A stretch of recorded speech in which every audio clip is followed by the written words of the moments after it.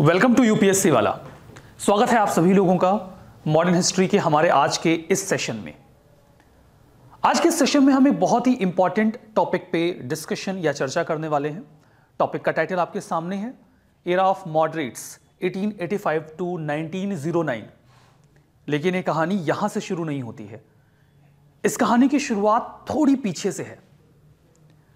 Late nineteen century में बनने वाली एक बहुत ही ताकतवर संस्था, जिसने दुनिया की सबसे बड़ी कॉलोनियल पावर ब्रिटेन को उनकी सबसे रिच कॉलोनी इंडिया से जाने पे मजबूर कर दिया।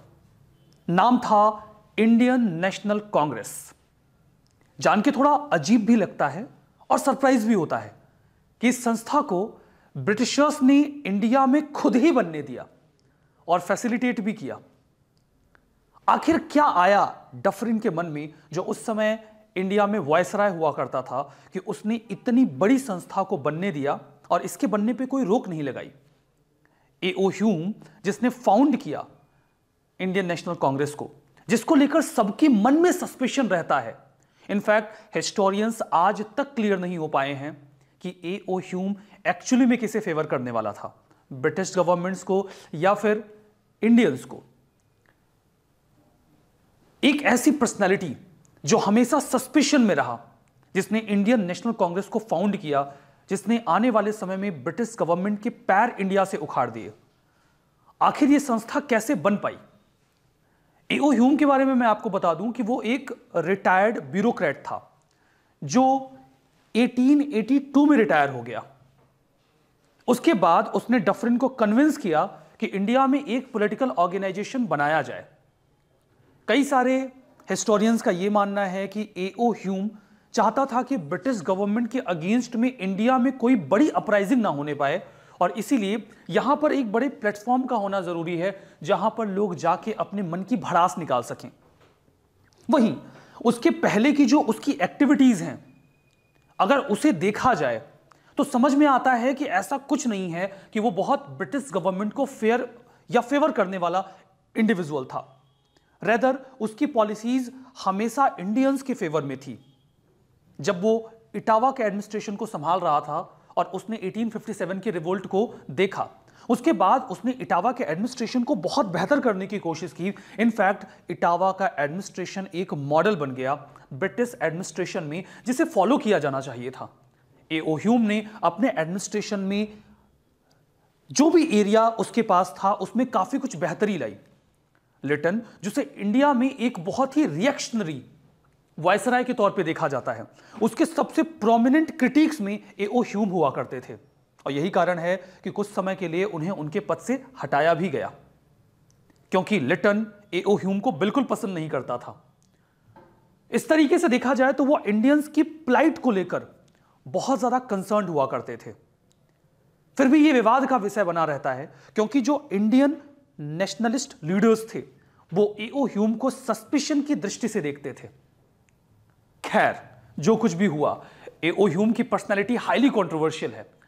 Despite this controversial personality AO Hume ने इंडिया के हिस्ट्री में अपना नाम दर्ज किया और भारत में एक बहुत ही ताकतवर संस्था को जन्म दिया इंडियन नेशनल कांग्रेस जब तक आप इंडियन नेशनल कांग्रेस को नहीं समझ पाएँगे मॉडरेट्स के फेस को समझ पाना पॉसिबल नहीं होगा।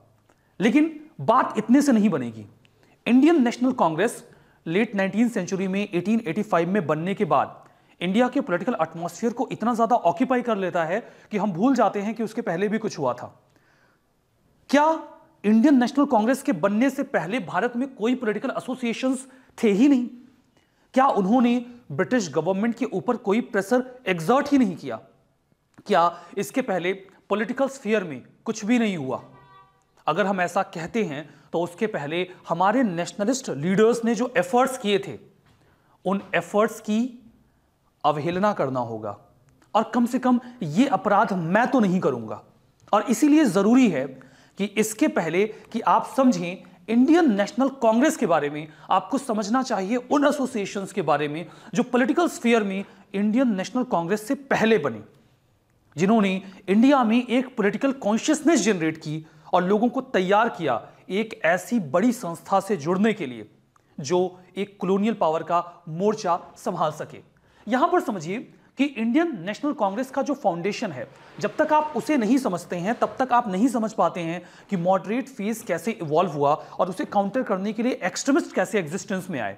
बहुत इंपॉर्टेंट पार्ट है यूपीएससी मल्टीपल टाइम इस टॉपिक पर क्वेश्चन पूछती रही है इंडियन नेशनल कांग्रेस कांग्रेस ऐसा पहला ऑर्गेनाइज्ड एक्सप्रेशन रहा इंडियन नेशनल मूवमेंट का, जहाँ पर ऑल इंडिया स्केल पर सभी लोग इकट्ठा हुए और हमने ब्रिटिश पावर को ब्रिटिश माइट को चैलेंज किया।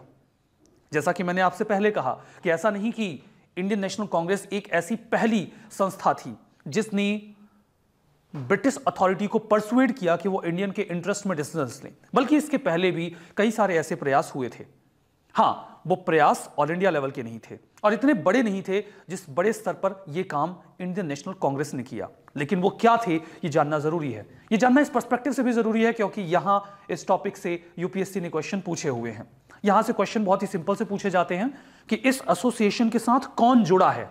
आपसे सीधा नाम पूछा जा सकता है कि हाँ, इस एसोसिएशन के साथ इन चार में कौन नहीं जुड़ा है? या इन चार में कौन जुड़ा है? तो इस नेचर के क्वेश्चन पिछले सालों में पूछे गए हैं यूपीएससी के द्वारा। देखिए हम समझने वाले हैं इंडियन नेशनल कांग्रेस के बारे में, लेकिन उसके पहले हम समझने वाले हैं कि इंडियन नेशनल कांग्रेस से पहले ऐसे कौन से पॉलिटिकल एसोसिएशंस थे जो काम कर रहे थे। जिन पॉलिटिकल एसोसिएशंस के बारे में हम लोग बात करने वाले हैं, उनमें सबसे पहले आती है लैंड होल्डर्स सोसाइटी जिसे बनाया गया 1837 में। उसके बाद हम देखने वाले हैं बंगाल ब्रिटिश इंडिया सोसाइटी के बारे में। या बंगाल ब्रिटिश इंडियन सोसाइटी इस संस्था को बनाया जाता है 1843 में। तीसरे नंबर पे देखने की बात आती है ब्रिटिश इंडियन एसोसिएशन को, जो एक्चुअली में इन दोनों ही ऑर्गेनाइजेशंस को मर्ज करके बना दी गई थी। यानी कि land holder society of 1837 parallelly Bengal British India society of 1843 इन दोनों को मर्ज करके एक नई संस्था, एक नया एसोसिएशन, ऑर्गेनाइजेशन 1851 में बनता है, जिसे नाम दिया गया ब्रिटिश इंडियन एसोसिएशन।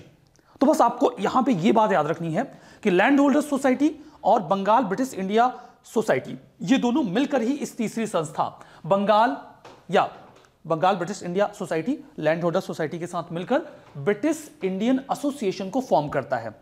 ये बातें अभी दिमाग में बिठा लीजिए, क्योंकि इनके बारे में बहुत, मैं बहुत बेसिक डिटेल्स आपको देने वाला हूँ। सिर्फ़ उतनी, जहाँ से प्रिलिम्स में क्वेश्चन बन सकते हैं और आप उतना कर पाएँ। बहुत डिटेल में जाने की ज़रूरत नहीं है। आप हर ऑर्गेनाइजेशन को बहुत डिटेल में पढ़ सकते हैं but it will not be worthy और आपका कॉस्ट बेनिफिट भी नहीं निकलेगा।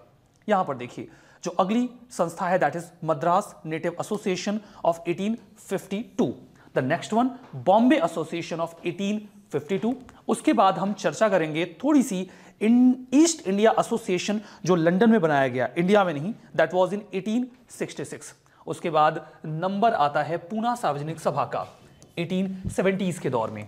फिर हम बात करेंगे इंडियन एसोसिएशन ऑफ़ 1876 के बारे में. उसके बाद चर्चा होगी मद्रास महाजन सभा के बारे में, जिसे बनाया गया 1881 में। और फिर हम बात करने वाले हैं थोड़ी सी बहुत ब्रीफ में बंगाल प्रेसिडेंसी एसोसिएशन के बारे में दैट वाज फॉर्म इन 1885 यहाँ पर अगर आप देख पा रहे हो तो आपके पास हैं total ten organisations political associations जो आईएनसी के पहले बने। 10 मैं आपको दो एक्स्ट्रा बताऊँगा, ज़्यादा नहीं, सिर्फ़ दो एक्स्ट्रा तो 10 जो यहाँ पर हैं, हम इन्हें देखेंगे और इसके पैरल दो और एक्स्ट्रा देख लेंगे जो इन्हें सब्सटीट्यूट करने के लिए ज़रूरी हैं। शुरुआत वैसे तो यहाँ आपके इस ग्राफ में लैंड होल्डर सोसाइटी के साथ की गई है, लेकिन मैं इसके पहले बनने वाली एक संस्था का ज़िक्र करना चाहूँगा। उसके बाद हम चर्चा करेंगे लैंड होल्डर सोसाइटी के बारे में भी। लैंड होल्डर सोसाइटी के पहले एक्चुअली में एक पॉलिटिकल एसोसिएशन तैयार होता है, जिसे नाम दिया गया द बंग भाषा प्रकाशिका सभा दिबंग भाषा प्रकाशिका सभा। अभी मैं अपने ग्राफ पे नहीं आया हूँ, जिसकी शुरुआत लैंड होल्डर सोसाइटी के साथ हुई थी। अभी मैं उसके पहले आपको एक एक्स्ट्रा एसोसिएशन बता रहा हूँ, और बीच में मैं उससे जुड़ी हुई एक संस्था का और ज़िक्र करूँगा। तो टोटल मैं आपको 12 एसोसिएशन के बारे में बताने वाला हूँ। आप सिर्फ़ इतना दिमाग में रखिए, अगर इस डोमेन से क्वेश्चन आया तो इतने में आप आराम से टैकल कर लोगे बिना किसी प्रॉब्लम के। और यहाँ से क्वेश्चन पूछे जा चुके हैं तो कम से कम इस पार्ट को लाइटली बिल्कुल मत लीजिएगा। ठीक है? बंगभाषा प्रकाशिका सभा को राजा राममोहन रॉय के एसोसिएट्स ने फॉर्म किया। इसे फॉर्म किया गया 1836 में और इसको लीडरशिप दी गौरी शंकर तारका बागिश ने। इतना याद रखिएगा, गौरी शंकर तारका बागिश ने 1836 में बंग भाषा प्रकाशिका सभा को फाउंड किया। इसने एक्चुअली में इंडियंस को हायर गवर्नमेंट ऑफ़िस में अपॉइंट किया जाए प्रेस को फ्रीडम दी जाए, जमींदारी जो ऑपरेशन करती है रैयत का, यानी कि किसानों का, उसे काउंटर किया जाए। यहाँ पर ब्रह्मो समाज के प्रिंसिपल्स को अपहेल्ड किया गया और प्रयास को आगे बढ़ाया गया। तो इस तरीके से अगर कहना चाहें तो पहला पॉलिटिकल एसोसिएशन हम लैंड होल्डर सोसाइटी को नहीं बोल पाएँगे। पहला पॉलिटिकल एसोसिएशन जो इंडिया में बनता है दैट वाज द बंग भाषा प्रकाशिका सभा जिसे 1836 में बनाया गया। बंग भाषा प्रकाशिका सभा अगर आपने समझ लिया है तो आइए अब शुरुआत करते हैं अपने ग्राफ के साथ, जिसमें पहला जो एलिमेंट था that was of land holders society of 1837 land holder society नाम से समझ में आ रहा है ना? लैंड होल्डर्स जो ज़मीन को होल्ड करता हो। ज़मीन को कौन होल्ड करता है? ऑफ़ कोर्स जमींदार। इसीलिए इसे जमींदारी सभा भी कहते थे। लैंड होल्डर सोसाइटी या जमींदारी सभा यह बंग भाषा प्रकाशिका सभा के एक साल बाद, यानी कि 1837 में बनाई जाती है। अगर देखा जाए तो बंग भाषा प्रकाशिका सभा एक्चुअली में कोर फॉर्म में एक पॉलिटिकल एसोसिएशन था और ऑर्गेनाइज्ड पॉलिटिकल एक्टिविटी की शुरुआत लैंड होल्डर सोसाइटी के साथ मानी जाती है। लैंड होल्डर सोसाइटी यानी कि जमींदारी सभा, ये 1837 में बनती है। इसे बंगाल, बिहार और उड़ीसा के जो जमींदार थे, उन्होंने मिलकर बनाया। ये जमींदार चाहते थे कि कलेक्टिव वॉइस के तौर पे ब्रिटिशर्स के साथ निगोशिएट करें। लैंड होल्डर्स यानी कि जमींदार, हमेशा से ब्रिटिश पॉलिसीज़ का बैकबोन हुआ करते थे इंडिया में। तो जमींदारों की बात वो आराम से मानते और सुनते। स्पेशली तब जब वो ऑर्गेनाइज हों और एक साथ मिलकर अपनी कोई बात कह रहे हों। जमींदारों को यह बात पता थी और उसी लिए इन्होंने इस संस्था को तैयार किया। इसमें कुछ बहुत ही प्रोमिनेंट लीडर्स रहे। ध्यान दीजिएगा, ये जो संस्था थी, ये ज़रूर से एक पॉलिटिकल एसोसिएशन था। Land holder society of course एक पॉलिटिकल सोसाइटी थी या एक पॉलिटिकल एसोसिएशन था। लेकिन ये एक क्लास इंटरेस्ट को सर्व करने वाला एसोसिएशन था. It was not an association जो पूरे इंडिया में मासेस की लाइफ को अपलिफ्ट करने की कोशिश कर रहा हो. They were solely focusing on the interest of the landlords ये लैंडलॉर्ड्स के इंटरेस्ट पर फोकस थे. बट ठीक है, जो भी था, कम से कम पॉलिटिकल एक्टिविटी की शुरुआत तो हुई. किसी ने तो पॉलिटिकल राइट्स की डिमांड करी. एक बार लैंडलॉर्ड्स मांगेंगे, दूसरी बार किसान और मजदूर भी मांगेंगे। इसमें क्या बुराई है? शुरुआत तो होनी चाहिए और शुरुआत हो चुकी है। यहाँ पे कुछ बहुत ही प्रोमिनेंट लीडर्स जुड़े हुए हैं, जैसे कि द्वारकानाथ टैगोर, प्रसन्न कुमार टैगोर, राधाकांत देव राम कमल सेन, भवनी चरण मित्र। ये कुछ प्रोमिनेंट नाम हैं जो लैंड होल्डर सोसाइटी के साथ जुड़े थे, जिसमें द्वारका नाथ टैगोर का नाम तो बहुत ही प्रोमिनेंट है और राधाकांत देव। दोनों ही नाम बड़े पॉपुलर रहे हैं। तो आपसे पूछा जा सकता है कौन लैंड होल्डर सोसाइटी के साथ जुड़ा हुआ था और कौन नहीं था। बड़ी ही पॉपुलर सोसाइटी है। लैंड होल्डर सोसाइटी के बाद नंबर आता है the Bengal British India society का, जिसे बनाया गया 1843 में। मैं एक्सपेक्ट करता हूँ कि बहुत ज़्यादा सोसाइटीज़ दस बारह एसोसिएशन आपको पढ़ने हैं आईएनसी के पहले। आप उनको ज़रूर से दिमाग में रखें। यहाँ से अगर क्वेश्चन आता है तो एक क्वेश्चन अगर आपको दो नंबर का मिल रहा है, इन दस बारह एसोसिएशन में से तो कॉस्ट बेनिफिट बहुत बढ़िया है। इतनी मेहनत करके दो नंबर के क्वेश्चन के लिए पढ़ाई की जा सकती है, ठीक है? तो 1843 में the Bengal British India society बनाई जाती है। इसे 1843 में फाउंड किया गया ताकि जो एक्चुअल कंडीशन है ब्रिटिश इंडिया में लोगों की, उसे गवर्नमेंट तक पहुँचाया जा सके। पीसफुल और लॉफुल कैरेक्टर में जो भी मीन्स हैं, उनका इस्तेमाल करके जो इंडियंस हैं, उनके इंटरेस्ट को सर्व किया जा सके। 1851 में तो ये तो बात हो गई ब्रिटिश इंडिया सोसाइटी की। 1851 में क्या होता है कि जो लैंड होल्डर सोसाइटी थी, जिसका ज़िक्र अभी हमने पहले किया 1837 में, दिमाग याद रखिए, दिमाग में इस बात को रखिएगा। लैंड होल्डर सोसाइटी जो 1837 में बनाई गई, और इसके अलावा बंगाल ब्रिटिश इंडिया सोसाइटी जो 1843 में बन रही है, इनको ऐड कर दिया गया 1851 में। 1851 में इनको मर्ज किया गया, और एक नई संस्था बनाई गई that was the British Indian association ये सोसाइटी थी, वो एसोसिएशन बन रहा है। तो 1951 में तीसरी प्रोमिनेंट संस्था या एसोसिएशन एग्जिस्टेंस में आया the British Indian association as you can see ये दो एसोसिएशंस का मर्जर है। और अगर ये दो एसोसिएशंस का मर्जर है, इसका मतलब कि ये ज़्यादा ताकतवर संस्था होगी। और ये और स्ट्रांगली इंडियंस की वॉइस को ब्रिटिशर्स के सामने रखेगी। अगर हम बात करते हैं तो इसने ब्रिटिश पार्लियामेंट को कई सारी पटिशंस भेजी, जहाँ पे उन्होंने ये बोला कि जो कंपनी का चार्टर है, उसे रिवाइज किया जाए। यह भी कहा गया कि सेपरेट लेजिस्लेचर तैयार किया जाए, जहाँ पर लॉ बनाया जा सके इंडियंस के लिए। ये डिमांड्स कहीं ना कहीं पूरी होती हुई मिलेंगी आपको, ध्यान दीजिएगा। यहाँ पर एग्जीक्यूटिव फ़ंक्शंस को जुडिशियल फ़ंक्शंस से अलग करने की बात भी की गई।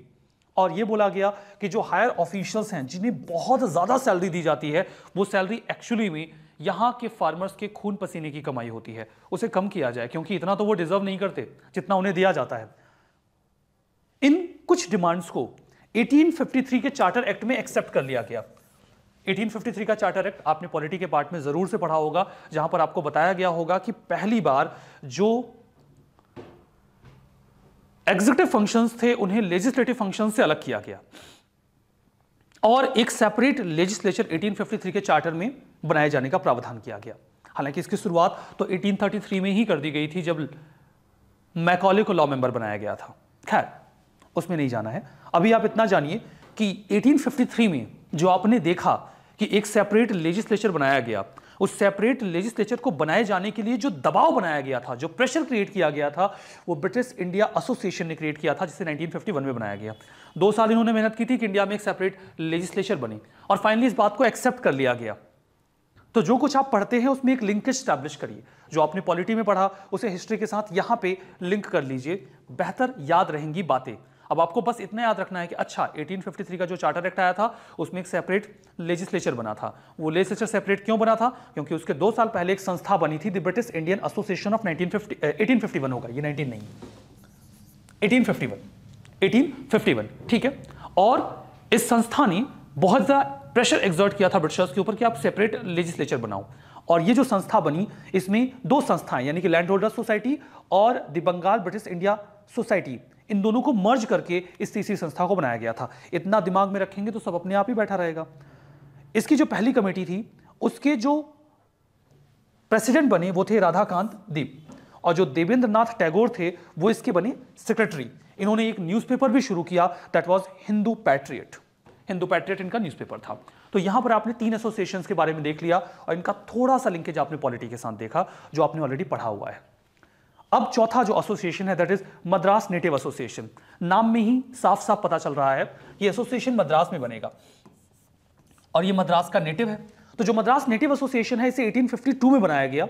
ब्रिटिश इंडिया एसोसिएशन की तर्ज पर ही ब्रिटिश इंडिया एसोसिएशन जो 1851 में बनता है, ठीक है? इसी की तर्ज पर मद्रास में मद्रास नेटिव एसोसिएशन बनाया गया। Madras native association Bombay association और ब्रिटिश इंडिया एसोसिएशन ये तीन संस्थाएँ बनी। Madras native association Bombay association Bombay association अभी हम देखने वाले हैं, ठीक है? सिंपली बात यहाँ पे देख लीजिए कि 1852 में बॉम्बे एसोसिएशन बना। ब्रिटिश इंडिया एसोसिएशन 1851 में बना। जो दो संस्थाओं को मर्ज करके बना, इसी की तर्ज पर मद्रास में मद्रास नेटिव एसोसिएशन बना और इसी की तर्ज पर बॉम्बे में बॉम्बे एसोसिएशन बना। ठीक है? तो यहाँ पर थोड़ा दिमाग में बिठाने की कोशिश करेंगे तो याद रहेगा, नहीं तो भूल जाएगा। ठीक है? ब्रिटिश इंडियन एसोसिएशन 1851 में बना। उसके एक साल बाद दो जगहों पे दो संस्थाएँ बनी। मद्रास में मद्रास नेटिव एसोसिएशन 1852 में ही और बॉम्बे एसोसिएशन 1852 में ही। दोनों बन गए। ठीक है? बॉम्बे एसोसिएशन को बनाया गया नरोजी फुरदोन जी ने, नारायण दीनानाथ जी ने, डॉक्टर भाऊ दाजी ने, दादा भाई नरोजी ने और सर जमशेद जी, जीजी भॉय जी ने। ये जमशेद जी टाटा नहीं है, ठीक है? जमशेद जी, जीजी भॉय भी बहुत ही फिलेंथ्रॉपिक पर्सन थे। बड़े कंसर्न रहते थे पीजेंट्री को लेकर और उनके कंसर्न्स को लेकर। ब्रिटिशर्स ने ग्रेजिंग टैक्स लगा दिया था। मतलब जो किसान हैं, जिनके पास मवेशी हैं कैटल्स हैं, जब वो उन्हें चराएँगे ओपन लैंड पे, ग्रास लैंड पे तो उन्हें उसके लिए टैक्स पे करना पड़ेगा। अभी गरीब किसान जो कुछ मवेशियों को रख के, कुछ कैटल्स को रख के जैसे तैसे अपना गुजारा कर रहा है, वो कैसे ग्रेजिंग टैक्स दे पाएगा? मुश्किल हो जाएगा उनके लिए।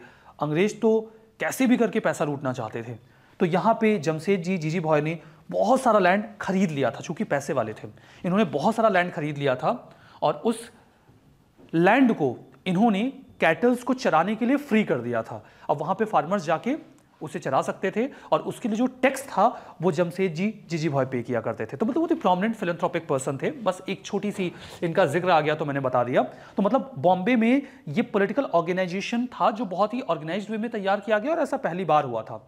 इनका ऑब्जेक्टिव भी यही था कि गवर्नमेंट को समय समय पर यह रिमाइंड करवाया जाए कि आप जो एग्जिस्टिंग एविल्स हैं, उनको खत्म करिए। तो यहाँ पर हमने तीन एसोसिएशन देखे।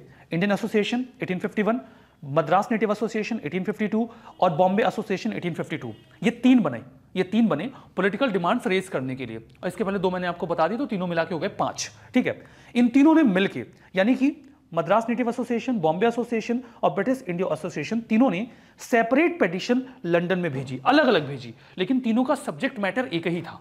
All the three had same subject matter अगर तीन संस्थाएँ एक साथ डिमांड्स भेज रही हैं तो मतलब वो डिमांड पावरफुल होगी। वो डिमांड इतनी पावरफुल थी कि अंग्रेज़ों ने उसे मानने से इनकार कर दिया। थोड़ा स्ट्रेंज है बट अंग्रेज़ों ने इन तीनों ही एसोसिएशन के डिमांड्स को नहीं माना।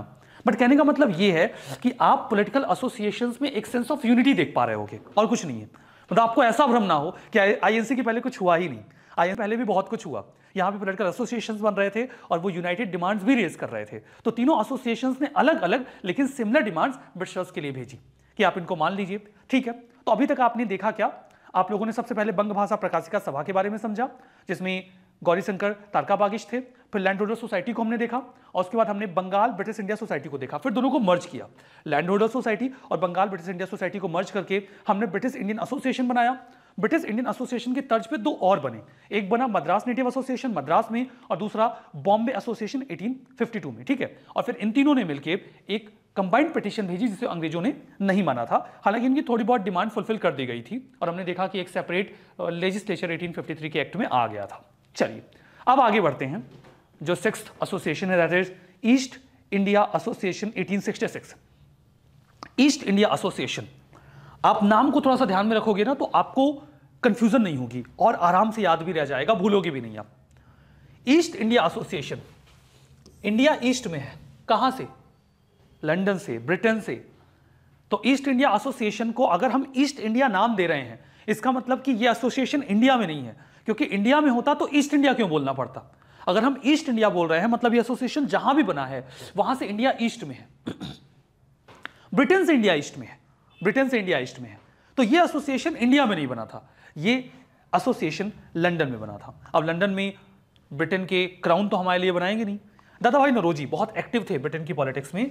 उन्होंने 1866 में लंदन में ईस्ट इंडिया एसोसिएशन को फॉर्म किया था। तो नाम से ही समझ में आ रहा है कि ये इंडिया में नहीं है, बाहर है। इसमें इतना कोई याद रखने वाली बात नहीं है, ठीक है? नाम से ही पता चल रहा है कि बाहर है। यहाँ पे वो वहाँ के लोगों को, ब्रिटेन के, इंग्लैंड के लोगों को इन्फ्लुएंस करना चाहते थे कि इंडियंस कितने परेशानी में हैं। उन्हें लगता था कि अगर ब्रिटिशर्स सिंपथी रखेंगे इंडियंस के लिए तो ब्रिटिश गवर्नमेंट को इंडियंस के फेवर में पॉलिसी बनानी पड़ जाएगी। उनके पास कोई अल्टरनेटिव कोई ऑप्शन नहीं बचेगा। अलग लेवल पे खेल रहे थे दादा भाई नरोजी, एकदम एडवांस लेवल पे। ब्रिटेन के अंदर घुस के वहाँ की पॉलिसीज़ को इन्फ्लुएंस करने की कोशिश कर रहे थे। धीमे धीमे वहाँ के लोग इन्हें बहुत पसंद भी करने लगे थे और वहाँ के ये पार्लियामेंटेरियन भी बने। देखिए, इसके बाद आप देखो तो जो एसोसिएशन की ब्रांचेस थी, उनको इंपॉर्टेंट इंडियन सिटीज़ में भी खोला गया। शुरुआत लंदन से हुई बट इसकी ब्रांचेस इंडिया में भी ओपन की गई। ठीक है तो इतनी बेसिक बात आपने समझ ली। अब आइए बात करते हैं पुणे या फिर पूना सार्वजनिक सभा के बारे में। 1867 में यह संस्था बनाई जाती है। इसे फाउंड किया था 67 में महादेव गोविंद रानाडे जी ने। और इनका बेसिक ऑब्जेक्टिव यह था कि एक ब्रिज की तरह काम करें गवर्नमेंट और कॉमन लोगों के बीच में। जो लोगों के कंसर्न हैं, उन्हें लेकर जाएँ ब्रिटिशर्स के पास और उन कंसर्न्स को एड्रेस करवाने की कोशिश करें। ये इनकी कोशिश रही। ये एक सोशियो पोलिटिकल ऑर्गेनाइजेशन था, जहाँ पे पीजेंट्स के लीगल राइट को पॉपुलराइज किया गया। पीजेंट्स के लीगल राइट को पॉपुलराइज किया गया कि हाँ पीजेंट्स के पास भी तो कुछ लीगल राइट्स होंगे। आप उन्हें एक लिमिट से ज़्यादा एक्सप्लॉइट नहीं कर सकते ना। ये काम इन्होंने किया। ये ऑर्गेनाइजेशन जो है, इसे इंडियन नेशनल कांग्रेस के प्रिकर्शर के तौर पे भी देखा जाता है। क्यों? क्योंकि इंडियन नेशनल कांग्रेस का जो पहला सेशन था, वो महाराष्ट्र में ही हुआ था। और महाराष्ट्र में इसके पहले एक संस्था जो एक्टिव थी पुणे में दैट वॉज़ पुणे सार्वजनिक सभा। हालाँकि सीधे सीधे तो प्रिकर्सर इन्हें नहीं माना जाता बट ये माना जाता है कि पॉलिटिकल एक्टिविटीज़ की शुरुआत महाराष्ट्र में पूना सार्वजनिक सभा ने कर दी थी। और जब कांग्रेस ने अपनी पहली मीटिंग वहाँ पे की तो एक बेस ऑलरेडी तैयार था। There was a ready base there जिसका इस्तेमाल करके वहाँ पर आईएनसी ने अपना काम शुरू किया। अब आइए बात करते हैं the Indian association of Calcutta 1876 1876 the Indian association of Calcutta जिसे इंडियन नेशनल एसोसिएशन के नाम से भी पुकारा जाता है, दोनों ही नाम है। कहीं इंडियन नेशनल एसोसिएशन आ जाए या फिर इंडियन एसोसिएशन ऑफ़ कैलकाटा आ जाए, दोनों एक ही समझना। इसने एक्चुअली में इंडियन लीग की जगह ले ली।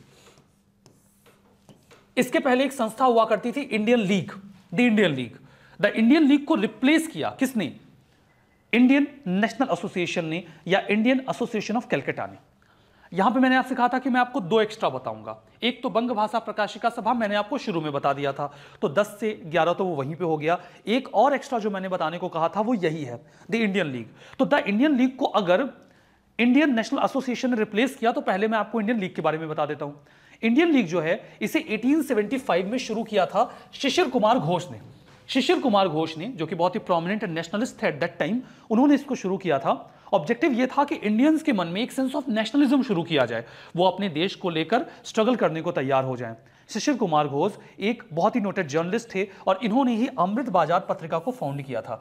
कई बार बहुत ही सिंपल क्वेश्चन पूछ लिया जाता है कि किसने, किस न्यूज़पेपर को फाउंड किया, ठीक है? तो न्यूज़पेपर और उनके फाउंडर्स या उनके जर्नलिस्ट या एडिटर एडिटर्स इनके बारे में आपको पता होना चाहिए। क्वेश्चन इस नेचर के भी पूछे जाते रहे यूपीएससी में, ठीक है? तो बंगाली लैंग्वेज में 1680 1868 ऑनवर्ड्स पब्लिश किया जाने वाला बहुत ही पॉपुलर न्यूज़पेपर बना अमृत बाज़ार पत्रिका अमृत बाज़ार पत्रिका शिशिर कुमार घोष ने इसे शुरू किया था और शिशिर कुमार घोष ने ही 1875 में द इंडियन लीग को शुरू किया था। इसी इंडियन लीग को एक साल बाद 1876 में रिप्लेस कर दिया गया इंडियन नेशनल एसोसिएशन के द्वारा। और इंडियन नेशनल एसोसिएशन को फाउंड किसने किया था? सुरेंद्र बनर्जी और आनंद मोहन बोस ने। यहाँ पर आप इन एसोसिएशन के बारे में केवल तीन चार बातें याद रखना। यह एसोसिएशन कब बना है? किसने बनाया है? क्या ऑब्जेक्टिव था? ठीक है? और कब बना है? मतलब time place time place person और ऑब्जेक्टिव बस चार बातें याद रखना। ज़्यादा नहीं ज़्यादा नहीं। बस इतना याद रखना। इतने से क्वेश्चन हो जाएगा। कभी वो क्रोनोलॉजी लगाने को दे दे। कौन पहले बना, कौन बाद में। डेट पता रहेगी या ईयर पता रहेगा तो कर ले जाओगे। ठीक है? कम से कम ये तो पता हो कौन पहले, कौन बाद में आया था। कई बार ये कह दिया जाता है कि यूपीएससी डेट नहीं पूछती। यूपीएससी ईयर्स नहीं पूछती। सरासर गलत बात है ये। सरासर गलत बात है। हाँ यूपीएससी आपसे ये नहीं पूछने वाली है कि ये बैटल कब हुई। तेरह तारीख को, चौदह तारीख को, पंद्रह को या सोलह को। ऐसे यूपीएससी नहीं पूछती। यूपीएससी सीधे सीधे आपसे ईयर भी नहीं पूछती। लेकिन यूपीएससी आपसे क्रोनोलॉजी लगाने को बोलती है कि कौन सा ऑर्गेनाइजेशन पहले था, कौन सा बाद में था। और इस नेचर के क्वेश्चन मल्टीपल टाइम यूपीएससी ने पूछे हुए हैं। और क्रोनोलॉजी आप तब तक नहीं लगा पाओगे जब तक आपको ईयर नहीं पता होगा। अब यूपीएससी सीधे सीधे आपसे ईयर पूछिए, ज़रूरी थोड़ी है।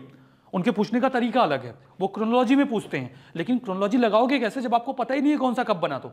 ठीक है? तो अगर ये कहा जाए कि हाँ यूपीएससी ईयर नहीं पूछती तो गलत बात है। सरासर गलत बात है। यूपीएससी ईयर पूछती है, बस पूछने का तरीका अलग है। ठीक है? वो क्रोनोलॉजी पूछते हैं। And for that purpose you need it आपको ये ज़रूरी है। आपके लिए ज़रूरी है। ठीक है?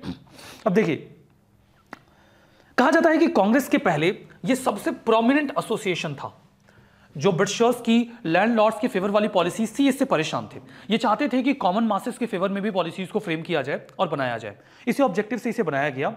ये लेजिटिमेट तरीके ऑप्ट करना चाहते थे अपनी डिमांड्स को मनवाने के लिए। पॉलिटिकल इंटेलेक्चुअल और मटेरियल एडवांसमेंट लोगों का हो, इसके लिए ये एफर्ट्स करना चाहते थे। इसके लिए इन्होंने काफ़ी कुछ काम भी किया। जो मेंबरशिप फ़ीस थी, इसीलिए बहुत कम रखा गया। मेंबरशिप फ़ीस को बहुत कम रखा गया ताकि ज़्यादा से ज़्यादा लोग इस एसोसिएशन को ज्वाइन कर सके। अगर आप कभी कॉलेज यूनिवर्सिटी में पढ़े होंगे तो आपने देखा होगा कि वहाँ पे एन या फिर ए के जो भी मेंबर्स होते हैं, वो डेस्क लगा के बैठे रहते हैं। ठीक है? और वो आपसे कहते हैं कि आप मेंबर बन जाओ, आपको कन्विंस करते हैं, उनकी फ़ीस कितनी होती है? पाँच रुपये पाँच रुपये वो आपसे मेंबर से फ़ीस लेंगे और एक पर्ची काट के आपका नाम मेंशन करके दे देंगे और बोल देंगे, अब आप ए के मेंबर बन गए या अब आप एनएसयूआई के मेंबर बन गए। ठीक है? तो पाँच रुपये क्या होता है? एक बच्चा पाँच रुपये दे देगा। It's not a big deal it's not about the money पाँच रुपए का मामला नहीं है। मामला यह है कि अगर आप पचास रुपए या सौ रुपए मांगोगे तो बच्चा नहीं दे पाएगा और फिर वो आपकी संस्था का मेंबर भी नहीं बनेगा। आप पाँच रुपए देकर उसे मेंबर बना ले रहे हो। पोलिटिकल पार्टीज़ क्या करती हैं? समझो क्योंकि आप एक बार किसी से कुछ पैसे ले लो तो वो लॉयल हो जाता है आपका। ठीक है? लेकिन वो पैसे का अमाउंट इतना बड़ा नहीं होना चाहिए कि वो पे ना कर पाए। पोलिटिकल पार्टीज़ क्या करती हैं? वो लोगों से जाके चंदा मांगते हैं। बहुत छोटा अमाउंट अब आप ये बताइए कि अगर कोई उनको दो सौ रुपये पाँच सौ रुपये सौ रुपये का चंदा दे रहा है इलेक्शंस में बहुत खर्चा होता है। उस चंदे से उनका काम नहीं चलने वाला है। वो जब तक कॉरपोरेट हाउसेस से चंदा नहीं लेंगे, बड़े अमाउंट में, करोड़ों में, तब तक वो इलेक्शंस कंटेस्ट नहीं कर पाएँगे। पार्टी जीत नहीं पाएगी। लेकिन फिर भी वो एक आम आदमी के पास जाके उससे पैसे मांगते हैं और कहते हैं, भाई साहब, जो हो दे दीजिए। बहन जी, जो हो दे दीजिए। पचास रुपए, सौ रुपए, दस रुपए, बीस रुपए, आप अगर चंदा के नाम पे बीस रुपए भी देंगे तो वो एक्सेप्ट कर लेते हैं। मना कभी नहीं करते। क्योंकि उनके लिए आपके वो पैसे इंपॉर्टेंट नहीं है। पैसे तो वो कॉर्पोरेट से ले लेंगे। इंपॉर्टेंट ये है कि आपने उस पोलिटिकल पार्टी को पचास रुपए दिए। अगर आपने उस पोलिटिकल पार्टी को पचास रुपए दे दिए हैं ना तो आप वो वोट भी दे के आएँगे जो फ्री का है। जो फ्री का है। इसीलिए मेंबरशिप अवेल करने के लिए हमेशा लोगों से कुछ न कुछ पैसे लिए जाते हैं। वो मेंबरशिप एक्चुअली में लॉयल्टी को रिप्रेजेंट करता है और वो अमाउंट इतना बड़ा नहीं होता कि आप पे ना कर सको। इसीलिए इन्होंने मतलब कि सुरेंद्र बनर्जी जी ने, आनंद मोहन बोस जी ने बहुत कम फ़ीस रखी थी इसकी, ताकि ज़्यादा से ज़्यादा लोग इसे ज्वाइन कर सकें। इस एसोसिएशन ने, आप देखो कि Indian national Congress Indian national Congress जो 1885 में बना उसके पहले जो मीटिंग्स हुई, जो इंडियन नेशनल कांग्रेस से ही एसोसिएटेड थी, दिसंबर 28 और 30 1883 में, उसे फाइनेंस या फंड करने का काम इसी संस्था ने किया था। इंडियन एसोसिएशन ऑफ़ कैलकाटा या फिर इंडियन नेशनल एसोसिएशन, इसी एसोसिएशन ने 1883 में मीटिंग करवाई थी, जो आईएनसी का प्रिकर्सर माना जाता है, जो कॉन्फ्रेंस हुई थी जो आईएनसी का पूर्ववर्ती, यानी कि प्रिकर्सर माना जाता है, उस इंडियन नेशनल कॉन्फ्रेंस की मीटिंग को फंड करने का जो काम है, वो इसी संस्था ने किया था। बाद में जब आईएनसी एक्टिव हो गई इंडियन नेशनल कांग्रेस बहुत एक्टिवली काम करने लगी तो इस संस्था ने खुद को एक साल बाद कांग्रेस के बनने के 1886 में खुद को मर्ज कर दिया। मतलब इस संस्था ने अपना एग्जिस्टेंस खत्म कर दिया आईएनसी को बनाने में हेल्प करने के बाद, और बाद में खुद को उसी संस्था के साथ अटैच कर दिया। So that was all about Indian national association. Indian league के बारे में आपको बता चुका हूँ। अब वही बात करते हैं मद्रास महाजन सभा के बारे में। मद्रास महाजन सभा को 1884 में फाउंड किया गया था M V Raghavachari, B Subramania Iyer और पी आनंद चार्लू के द्वारा। मद्रास महाजन सभा को इन्होंने फाउंड किया था। ये नॉन ऑफिशियल इंटेलिजेंस स्प्रेड करना चाहते थे मतलब गवर्नमेंट के बारे में जानकारियाँ लोगों तक पहुँचे ताकि लोग पॉलिटिकली अवेयर हो सके। ये काम मेजरली मद्रास महाजन सभा कर रही थी। उसके बाद नंबर आता है बॉम्बे प्रेसिडेंसी एसोसिएशन का। बॉम्बे प्रेसिडेंसी एसोसिएशन को शुरू किया गया था बदरुद्दीन तैयब जी, फिरोज शाह मेहता और के टी तेलंग के द्वारा। और ये संस्था बनी थी 1885 में। बॉम्बे में बनी थी, समझ में आ रहा है। जो लिटन की रिएक्शनरी पॉलिसी थी वायसराय था लिटन उसकी जो पॉलिसीज़ थी, वो इंडियंस के हाईली अगेंस्ट थी। उसने आर्म्स एक्ट इंट्रोड्यूस किया। वर्नाकुलर प्रेस एक्ट इंट्रोड्यूस किया, जहाँ पे इंडियन न्यूज़पेपर्स को कटेल किया गया, जो इंडियन लैंग्वेजेस में छप रहे थे, हथियार रखने की मनाही कर दी गई। कुछ इंडियन कम्युनिटीज ऐसी हैं जो ट्रेडिशनली आर्म्स कैरी करते हैं, जैसे कि सिख वो ट्रेडिशनली आर्म्स कैरी करते हैं। सिमिलरली कई सारे और ट्राइबल ग्रुप्स हैं, जो ट्रेडिशनली कोई ना कोई हथियार कैरी करते हैं। उनको रोक दिया गया, क्योंकि इन्हें खतरा महसूस होता था। तो लिटन की जो पॉलिसीज़ थी, बहुत रिएक्शनरी थी। लिटन की पॉलिसीज़ और पैरेलली इल्बर्ट बिल कंट्रोवर्सी जो इमर्ज होकर आई बाद में, जिसके कॉज पोलिटिकल अनरेस्ट होता है, उन सभी इश्यूज़ को रेस करने का काम बॉम्बे प्रेसिडेंसी एसोसिएशन ने किया। तो यहाँ पर देखिए, हमने इंडियन लीग को देख ही लिया था। हमने इंडियन एसोसिएशन ऑफ़ कलकत्ता देखा, जिसने इंडियन लीग को रिप्लेस किया। तो इंडियन लीग के बारे में भी हमने देखा। फिर हमने मद्रास महाजन सभा को देखा। यहाँ पे इनका नाम और टाइम ड्यूरेशन याद रखिएगा। मद्रास महाजन सभा से जुड़े हुए तीन लोगों के नाम आपके दिमाग में रहे, ये मैं एक्सपेक्ट करता हूँ। M V Raghavachari B Subramania Iyer और पी आनंद चार्लू और इसके अलावा बॉम्बे प्रेसिडेंसी एसोसिएशन में तीन लोगों के नाम हैं। मैं चाहता हूँ कि आप इसे दिमाग में रखें और वो हैं बदरुद्दीन तैयब जी, फिरोज शाह मेहता के टी तेलम आप प्रीवियस के क्वेश्चन पेपर्स देखेंगे, आप समझ जाएँगे कि मैं ऐसा क्यों बोल रहा हूँ कि आप इसे दिमाग में रखें, क्योंकि क्वेश्चन यहीं से आए हैं। ठीक है, चलिए। मैंने आपको इंडियन नेशनल कांग्रेस से पहले बनने वाले एसोसिएशंस के बारे में बता दिया। मैंने आपको इंडियन नेशनल कांग्रेस से पहले जो भी पोलिटिकल एसोसिएशंस बने, उनके बारे में अच्छे से जानकारी दे दी। अगर यहाँ से क्वेश्चन बनेगा तो आप कर ले जाओगे। अभी मुझे भरोसा है। अब मामला बनता है इंडियन नेशनल कांग्रेस का। Indian national Congress A O Hume को क्रेडिट जाता है इंडियन नेशनल कांग्रेस को फाउंड करने का। ऐसा कहा जाता है कि भले ही Congress A O Hume theosophical society का मेंबर था, मैं आपको बता दे रहा हूँ। A O Hume was the member of theosophical society और थियोसॉफिकल सोसाइटी इंडियंस के फेवर में बहुत कुछ कर रहा था। यह कहा जाता है कि थियोसॉफिकल सोसाइटी में 1884 में एक सीक्रेट मीटिंग हुई थी। वो जो सीक्रेट मीटिंग हुई थी थियोसॉफिकल सोसाइटी में, उसमें 17 लोगों ने पार्टिसिपेट किया था। 17 लोगों ने एक बंद कमरे के भीतर बातचीत की थी कि हम एक पैन इंडिया लेवल का बहुत बड़ा पॉलिटिकल ऑर्गेनाइजेशन बनाएँगे। हालाँकि ये मीटिंग हुई थी, नहीं हुई थी, इस बात को लेकर बहुत विवाद है क्योंकि इसके कोई हिस्टोरिकल एविडेंसेस नहीं है। अगर हिस्टोरिकल एविडेंसेस होते तो किस बात की सीक्रेट मीटिंग होती?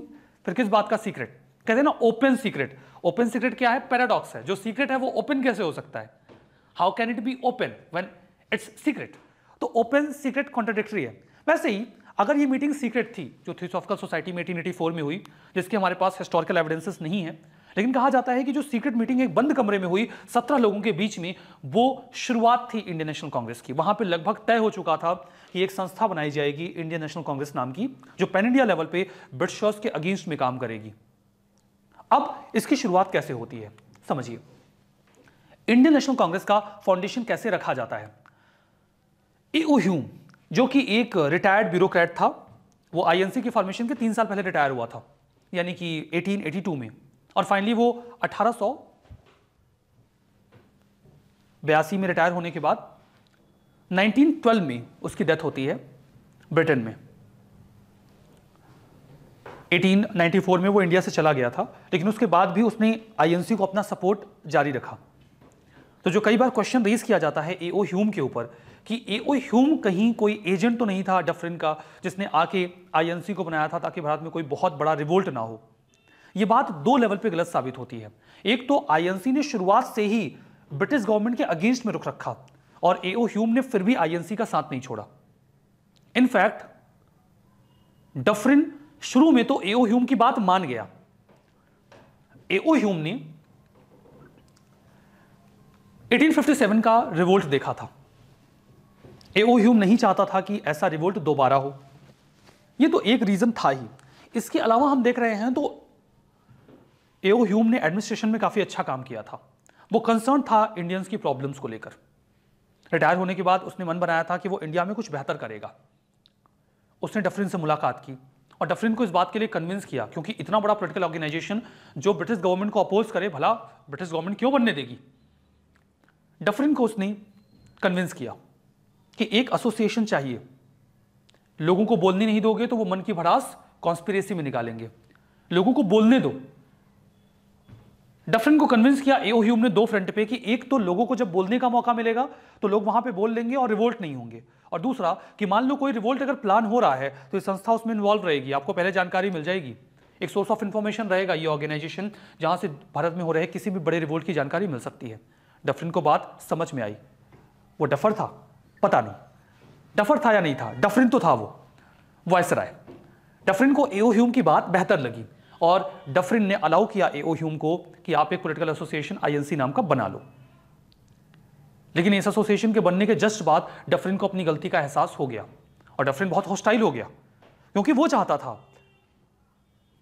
आईएनसी एक सोशल रिफॉर्म करने वाले ऑर्गेनाइजेशन के तौर पे काम करे। लेकिन कांग्रेस एक पोलिटिकल ऑर्गेनाइजेशन था और वो सोशल रिफॉर्म तक खुद को लिमिटेड नहीं रखने वाला था। इस बात से डफरिन चिड़ गया। उसके बाद जब लैंड्सडाउन आता है, वो तो एओ ह्यूम से बात तक करने को तैयार नहीं होता। वो मिलता भी नहीं है एओ ह्यूम से। इससे समझ में आता है कि A O Hume British government के फेवर में काम नहीं कर रहा था और इसीलिए ब्रिटिश गवर्नमेंट बहुत हॉस्टाइल थी एओ ह्यूम को लेकर। यह हॉस्टिलिटी कई सारे फ्रंट पर देखने को मिलती भी है। कुल मिला के एओ ह्यूम ने ऑल इंडिया ऑर्गेनाइजेशन स्टैब्लिश करने का जो आइडिया तैयार किया, उसी के रिजल्टेंट आईएनसी की पहली मीटिंग होती है या सेशन होता है बॉम्बे में। बॉम्बे में जो सेशन होता है that happened in Gokuldas Tejpal Sanskrit college यहाँ पर ये मीटिंग होती है दिसंबर 1885 में। 1885 में ये मुलाकात होती है। इसके पहले इंडियन नेशनल कॉन्फ्रेंस के दो सेशंस हुए थे। एक हुआ था 1883 में और दूसरा 1885 में, जहाँ पे मेजर इंडियन टाउन से रिप्रेजेंटेटिव्स को बुलाया गया था। और जब भी मीटिंग होती है बॉम्बे में इंडियन नेशनल कांग्रेस की तो इस मीटिंग में 72 डेलीगेट्स ने शिरकत की। और इसे रीड किया गया वेमेश चंद्र बनर्जी जी के द्वारा, जो कि इसके प्रेसाइडिंग ऑफिसर बने या फिर प्रेसिडेंट बने। और उसके बाद से इस मीटिंग को एनुअली हेल्ड किया जाने लगा। आप अक्सर देखते हो कि आईएनसी की जो मीटिंग्स होती हैं, वो दिसंबर में होती हैं। दिसंबर में इसलिए भी होती हैं, क्योंकि शुरुआत दिसंबर से हुई थी। शुरुआत जो मीटिंग की हुई थी, वो दिसंबर से हुई थी। इसका एक रीजन तो ये रहा। दूसरा रीजन ये रहा कि अगर आप दिसंबर में मीटिंग कर लेते हो और प्लान ऑफ़ एक्शन डेवलप कर लेते हो तो आप उस पूरे प्लान को जनवरी से, यानी कि साल की शुरुआत से इंप्लीमेंट कर सकते हो। पूरे साल प्लान चलेगा आपका। फ़र्स्ट ऑफ़ जनवरी से इंप्लीमेंट हो सकता है वो प्लान और उसके बाद अगले दिसंबर में आप फिर से नया प्लान बना लेना। तो जनवरी में प्लान अच्छे से इंप्लीमेंट हो सके, इसके लिए दिसंबर में मीटिंग करना वैसे भी लॉजिकल लगता था। इसमें भी कोई बुराई थी नहीं। अब देखिए, कुछ प्रोमिनेंट लीडर्स रहे जो अर्ली फ़ेज़ से जुड़े हुए थे। आईएनसी के अर्ली फ़ेज़ से कुछ लीडर्स जुड़े हुए थे, जैसे कि दादा भाई नरोजी, फिरोज शाह मेहता विमेशन बनर्जी तिलक जी और गोखले जी। ये बहुत ही प्रोमिनेंट नाम थे, जो जुड़े हुए थे अर्ली फ़ेज़ में। कादम्बिनी गांगुली, ये पहली विमेन ग्रेजुएट बनी कैलकाटा यूनिवर्सिटी से। She was the first women graduate from Calcutta university जिनको बुलाया गया कि आप आइए और आईएनसी को एड्रेस करिए। That was kind of symbol कि हाँ वुमेन के कॉज को लेकर आईएनसी इंटरेस्टेड है। और वेमेन को इक्वल पार्टिसिपेशन ग्रांट किया जाएगा आईएनसी में, जहाँ पर भी मौका मिलेगा। तो इनको बुलाया गया 1890 में जो कांग्रेस का सेशन हुआ, उसे एड्रेस करने के लिए। And that was just to show the status of women in national life and the commitment of Congress to address the problems of women in India तो आईएनसी ने शुरू से ही अपना जो स्टैंड है, वो क्लियर कर दिया कि देखो भाई, हम तो एकदम कमिटेड हैं वुमेन के कॉज को रेज करने के लिए। जो नेशनलिस्ट एक्टिविटीज़ थी, उसे प्रोविंशियल कॉन्फ्रेंसेस एसोसिएशन न्यूज़पेपर्स और लिटरेचर्स के थ्रू लिटरेचर्स के थ्रू कैरी आउट किया जाना शुरू किया गया। और आईएनसी ने अपना काम तेज़ी से शुरू कर दिया। जब आईएनसी ने अपना काम शुरू किया तो एक सवाल आया आईएनसी क्यों बना? आईएनसी को क्यों बनाया गया? क्या इंडियन नेशनल कांग्रेस एक सेफ्टी वॉल्व था? सेफ्टी वॉल्व समझते हो? किसी भी पाइपलाइन से अगर नेचुरल गैस या फिर पेट्रोलियम जा रहा हो तो वहाँ पे एक सेफ्टी वॉल्व लगाया जाता है प्रेशर रिलीज़ करने के लिए। अगर प्रेशर बहुत ज़्यादा होगा तो वो फट सकता है पाइप सबसे सिंपल एग्जांपल आपने अपने घर में प्रेशर कुकर देखा होगा, जिसमें या तो मेटल या फिर रबर का एक सेफ्टी वॉल्व लगा होता है। किसी भी वजह से अगर आपके प्रेशर कुकर की सीटी जाम हो जाए तो कुकर पहले फट जाया करते थे, और जिससे कई बार विमेन या फिर मैन जो भी खाना बना रहे होते थे, वो हार्म हो जाते थे। मोस्ट ऑफ़ द केसेस में विमेन और कई बार तो उनकी जान भी चली जाती थी, अगर चोट गहरी हो तो। इस चीज़ से बचने के लिए प्रेशर कुकर में सेफ्टी वॉल्व लगाया गया। जब प्रेशर ज़्यादा बढ़ता है तो वो वॉल्व उखड़ के बाहर आ जाता है और सारी गैस बाहर निकल जाती है। कुकर फटता नहीं। कुल मिला के सेफ्टी वॉल्व जो कुछ भी होता है, वो प्रेशर को रिलीज़ करने का काम करता है और बड़े विस्फोट को रोक देता है। क्या कांग्रेस एक सेफ्टी वॉल्व था? जहाँ पर इसे इसलिए बनाया गया ताकि भारत में कोई बहुत बड़ा रिवोल्ट ना होने पाए। और अगर रिवोल्ट की कोई बात चल रही हो तो वो पूरा गुस्सा इस आईएनसी से बाहर निकल जाए। ए ओ ह्यूम ने जब इंडियन नेशनल कांग्रेस को फॉर्म किया तो कई सारे लोगों का यह कहना था कि इंडियंस में जो डिसकॉन्टेंट है, उसे रिलीज़ करने के लिए ए ओ ह्यूम ने एक सेफ्टी वॉल्व तैयार किया था। जबकि कुछ लीडर्स इसको सही भी नहीं मानते बट कुछ लोग हैं जो स्ट्रांगली सेफ्टी वॉल्व थ्योरी में बिलीव करते हैं। जैसे कि लाला लाजपत राय और जो मार्क्सिस्ट हिस्टोरियन रहे आरपी दत्त। लाला लाजपत राय के साथ साथ तिलक जी भी कुछ ऐसे नेशनलिस्ट लीडर्स में से थे जो एओ ह्यूम के ऊपर बहुत भरोसा नहीं करते थे। मैंने कहा था ना एओ ह्यूम एक ऐसी पर्सनैलिटी था जिसको दोनों डाउट करते थे। इंडियंस भी डाउट करते थे और ब्रिटिशर्स भी डाउट करते थे। उसके ऊपर चाहे जो भी डाउट किया जाए एओ ह्यूम ने जो किया, वो इंडियंस के लिए बेहतर था। आईएनसी जिसने लीड किया इंडिया के फ्रीडम स्ट्रगल को। Modern Indian historians safety wall theory को लेकर कुछ डिस्प्यूट रखते हैं। उनका यह कहना है कि आईएनसी सिर्फ़ इसलिए नहीं बना क्योंकि कोई सेफ्टी वॉल बनाना चाहता था। आईएनसी इसलिए बन पाया क्योंकि इंडिया के लोग पोलिटिकली अपनी सिचुएशन को लेकर कॉन्शियस हो गए थे और ये उनका एक एक्सप्रेशन था। पॉलिटिकल और इकोनॉमिक डिमांड जो उनकी थी, उसका ये एक एक्सप्रेशन था कि आईएनसी हमारे सामने आया। अर्ली कांग्रेस लीडर्स ह्यूम को एक्चुअली में एक कैटलिस्ट की तरह इस्तेमाल करते हैं।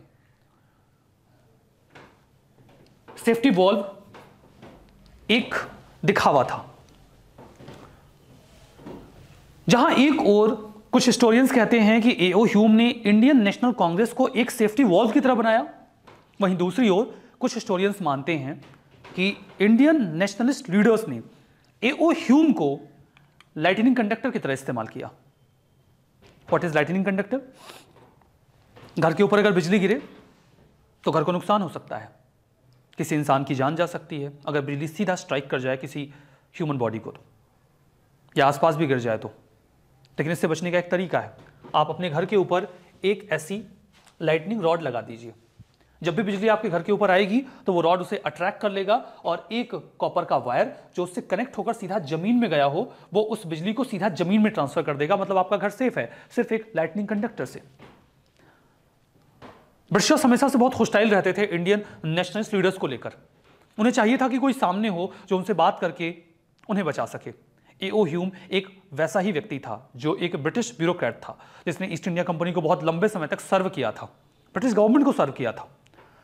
वो एक्चुअली में अगर आईएनसी में फ्रंट पे था तो वो इंडियन नेशनलिस्ट लीडर्स को बचा रहा था।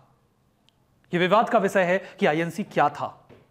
आईएनसी एक सेफ्टी वॉल था, या फिर आईएनसी ने एओ ह्यूम को एक लाइटनिंग कंडक्टर की तरह इस्तेमाल किया। अलग अलग हिस्टोरियंस इस पर अलग अलग ओपिनियन रखते हैं। फिर भी समझते हैं कि क्या एम्स और ऑब्जेक्टिव्स थे कांग्रेस के, जिसके ऊपर कांग्रेस ने काम किया। What were the aims and objectives of Congress? सबसे पहले तो ये डेमोक्रेटिक नेशनलिस्ट मूवमेंट इंडिया में तैयार करना चाहते थे, जहाँ पर हर पर्सन का पार्टिसिपेशन हो।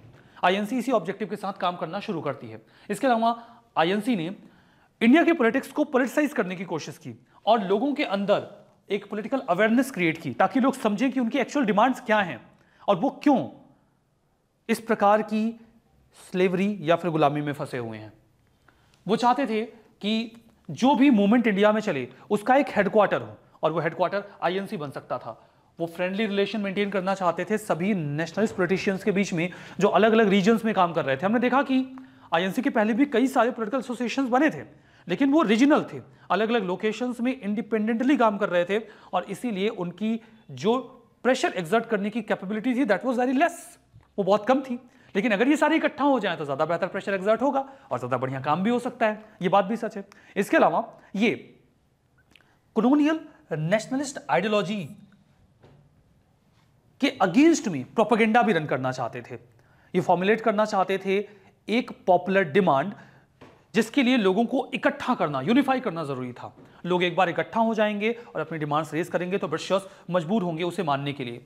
ये नेशनल यूनिटी की फीलिंग इंडिया के लोगों में जनरेट करना चाहते थे, उनके डिविजन्स के बावजूद कास्ट रिलीजन जिसके बेसिस पे वो अलग है, वो अलग रहें, लेकिन वो इकट्ठा हो जाएँ अपनी नेशनलिस्ट डिमांड्स के लिए। इसके अलावा, इंडिया में नेशनहुड को केयरफुली प्रमोट और नर्चर किया जाए। लोग ये माने कि हाँ इंडिया पूरा एक है। यहाँ रहने वाले लोग एक दूसरे के साथ कनेक्टेड हैं और उनका फेट उनका भाग्य एक ही है। अगर वो गुलाम है तो इकट्ठा हैं, आज़ाद होंगे तो इकट्ठा आज़ाद होंगे। इन सभी ऑब्जेक्टिव्स के साथ, इन सभी ऑब्जेक्टिव के साथ ये पूरा आईएनसी ने काम करना शुरू किया। अब देखिए, कौन रहे इंपॉर्टेंट लीडर आईएनसी के अर्ली फ़ेज़ में? अर्ली फ़ेज़ में जो आईएनसी के लीडर्स थे, वो Dadabhai Naoroji, Pherozeshah Mehta D इवाचा और विमोशन Banerjee.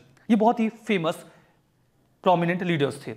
Dadabhai Naoroji Pherozeshah Mehta D E Wacha और व्योमेश चंद बनर्जी। ये प्रोमिनेंट अर्ली नेशनलिस्ट लीडर्स थे।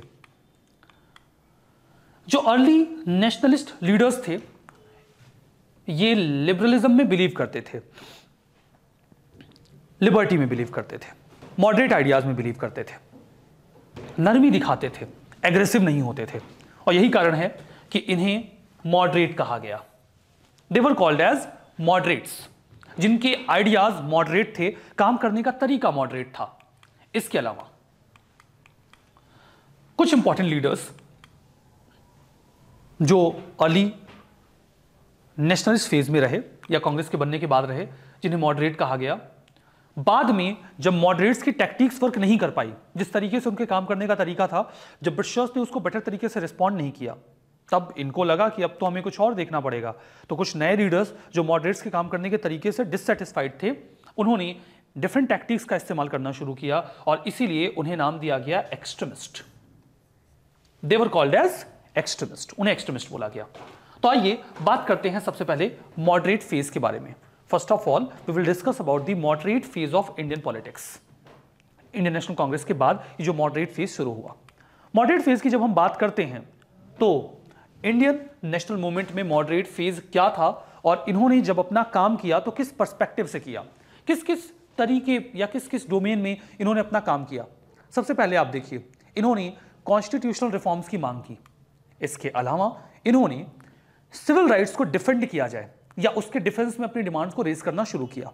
पैरेलली ये एडमिनिस्ट्रेटिव और बाकी भी रिफॉर्म्स मांग रहे थे ब्रिटिश गवर्नमेंट से। और इकोनॉमिक रिफॉर्म्स इनके एजेंडा का एक बहुत ही इंपॉर्टेंट हिस्सा था। आइए एक एक करके इन रिफॉर्म्स में इनकी क्या डिमांड्स थी उन्हें समझने की कोशिश करते हैं। थोड़ा सब्जेक्टिव रहेगा बट क्वेश्चंस बनने की प्रॉबिलिटी पूरी की पूरी रहेगी। पहला हेड कॉन्स्टिट्यूशनल रिफॉर्म इस पर सबसे पहले चर्चा करते हैं। कॉन्स्टिट्यूशनल रिफॉर्म में इन्होंने अपील की कि डेमोक्रेसी के प्रिंसिपल को ऑप्ट करते हुए जो गवर्नमेंट हमारे खुद के देश में है, जो हमारे ऊपर रूल कर रही है, उसमें हमारी हिस्सेदारी तो होनी चाहिए ना। We must have our part in our own government हमारी खुद की सरकार में हमारा रोल होना चाहिए। 1885 से लेकर 1892 के बीच में इन्होंने लेजिस्लेटिव काउंसिल में रिफॉर्म और एक्सपेंशन की मांग की। एक्सपेंशन का मतलब यह था कि ज़्यादा लोग अगर शामिल होंगे if more people will be there if more people will be there in council तो उसमें इंडियंस के जाने की प्रॉबिलिटी बढ़ जाएगी। और रिफॉर्म्स का मामला यह था कि रिफॉर्म्स में अक्सर हम ये चाहते थे कि नॉमिनेटेड मेंबर ना जाए इलेक्टेड मेंबर जाए ऑफिशियल मेंबर ना जाए। नॉन ऑफिशियल मेंबर जाएँ ठीक है? क्योंकि देखिए ऑफिशियल मेंबर अगर होंगे तो वो गवर्नमेंट के ऑफिशियल्स होंगे, वो ब्रिटिश गवर्नमेंट की बात करेंगे। नॉन ऑफिशियल होंगे तो वो इंडियंस भी हो सकते हैं। नॉमिनेटेड होंगे, तब तो जो नॉमिनेट करेगा, उसकी बात मानेंगे। इलेक्टेड होंगे तो इंडियंस की बात भी मान सकते हैं। तो जब हम काउंसिल रिफॉर्म की बात करते थे तो मेजरली हम दो तरीके की डिमांड्स इन जनरल रेज करते थे। ठीक है? हम इन जनरल दो तरीके की डिमांड रेज करते थे। एक तो जो नॉमिनेटेड मेंबर्स हैं, वो काउंसिल में ना जाए। इसके बजाय कौन जाए? इलेक्टेड मेंबर्स की ज़्यादा एंट्री हो। इलेक्टेड मेंबर्स जाए। ये तो हमारी रहती थी पहली डिमांड दूसरी डिमांड ये रहती थी कि जो ऑफिशियल मेंबर्स हैं, जो ऑफिशियल मेंबर्स हैं, उनकी संख्या को कम किया जाए और जो नॉन ऑफिशियल मेंबर्स हैं, उनकी संख्या को बढ़ाया जाए। ऑफिशियल मेंबर का मतलब होता है जो कंपनी के कर्मचारी हैं, गवर्नमेंट ऑफिशियल्स हैं, उन्हें लेजिस्लेटिव काउंसिल में जगह दे दी जाती थी। तो जो नॉन ऑफिशियल मेंबर्स हैं, उनकी संख्या को बढ़ाया जाए। ये हम चाहते थे, ये हमारी अक्सर डिमांड रहती थी। एक तो हम ये चाहते थे कि ये हो, और इसके अलावा हम चाहते थे कि जो काउंसिल है, उसको एक्सपेंड किया जाए। काउंसिल एक्सपेंशन काउंसिल का अगर एक्सपेंशन हो रहा है तो उसमें इंडियंस का से बढ़ेगा। तो दो मेजर डिमांड्स रहती थी काउंसिल को एक्सपेंड करना और दूसरा काउंसिल में जो मेंबरशिप का नेचर है, उसे बदलना। इसके अलावा एक और डिमांड जो रेज की जाती थी, वो ये होती थी कि जो काउंसिल में मेंबर्स हैं, उनके पास ज़्यादा पावर हो।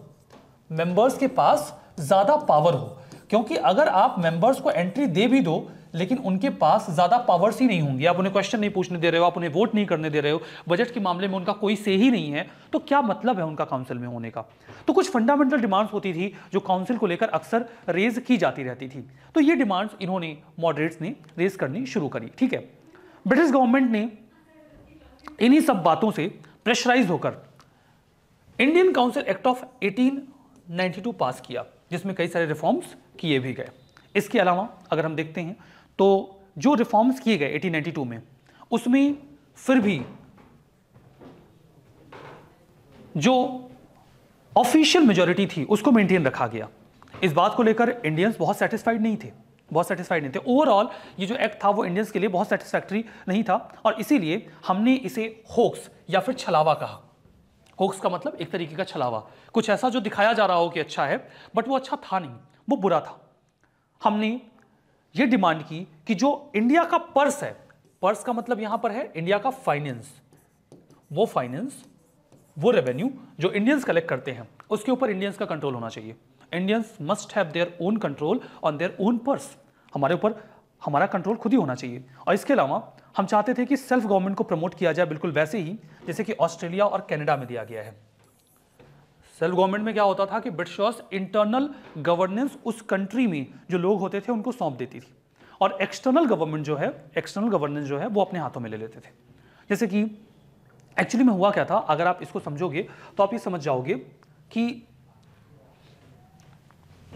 1776 में अमेरिकन वॉर ऑफ़ इंडिपेंडेंस हुआ। अमेरिकन वॉर ऑफ़ इंडिपेंडेंस हुआ, ठीक है? अमेरिकन वॉर ऑफ़ इंडिपेंडेंस हुआ। 1783 में फॉर्मली ब्रिटेन ने यह एक्सेप्ट कर लिया कि अमेरिका आज़ाद है। ब्रिटेन ने एक्सेप्ट कर लिया कि अमेरिका आज़ाद है। ब्रिटेन को अमेरिकन वॉर ऑफ़ इंडिपेंडेंस से एक बात समझ में आ गई कि वो व्हाइट्स और नॉन व्हाइट्स कॉलोनीज को एक जैसा ट्रीट नहीं कर सकते।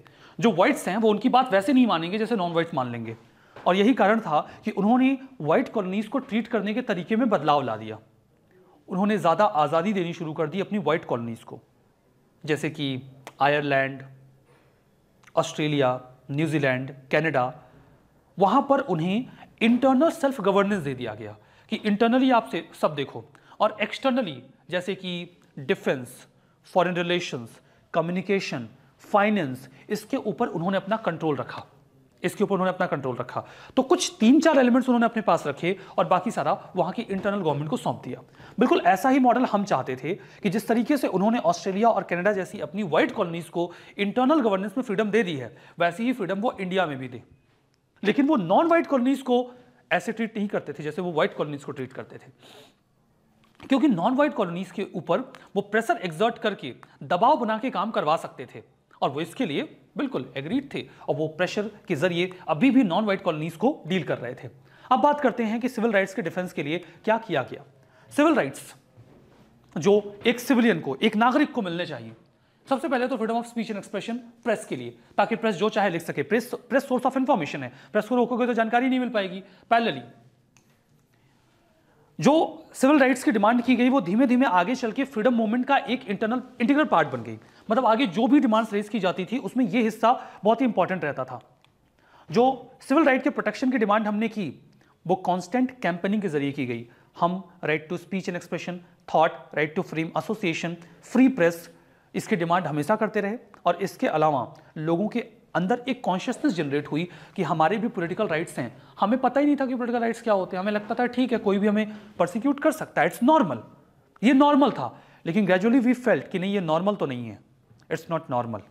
इसीलिए जब तिलक जी को अरेस्ट किया गया 1897 में, उनकी स्पीचेस के लिए, जो काफ़ी एग्रेसिव हुआ करती थी कॉलोनियल गवर्नमेंट के अगेंस्ट में हुआ करती थी तो लोगों ने बहुत प्रोटेस्ट किया। लोगों ने बोला, ये हम बेयर नहीं करेंगे, ये बर्दाश्त नहीं करेंगे. ठीक है?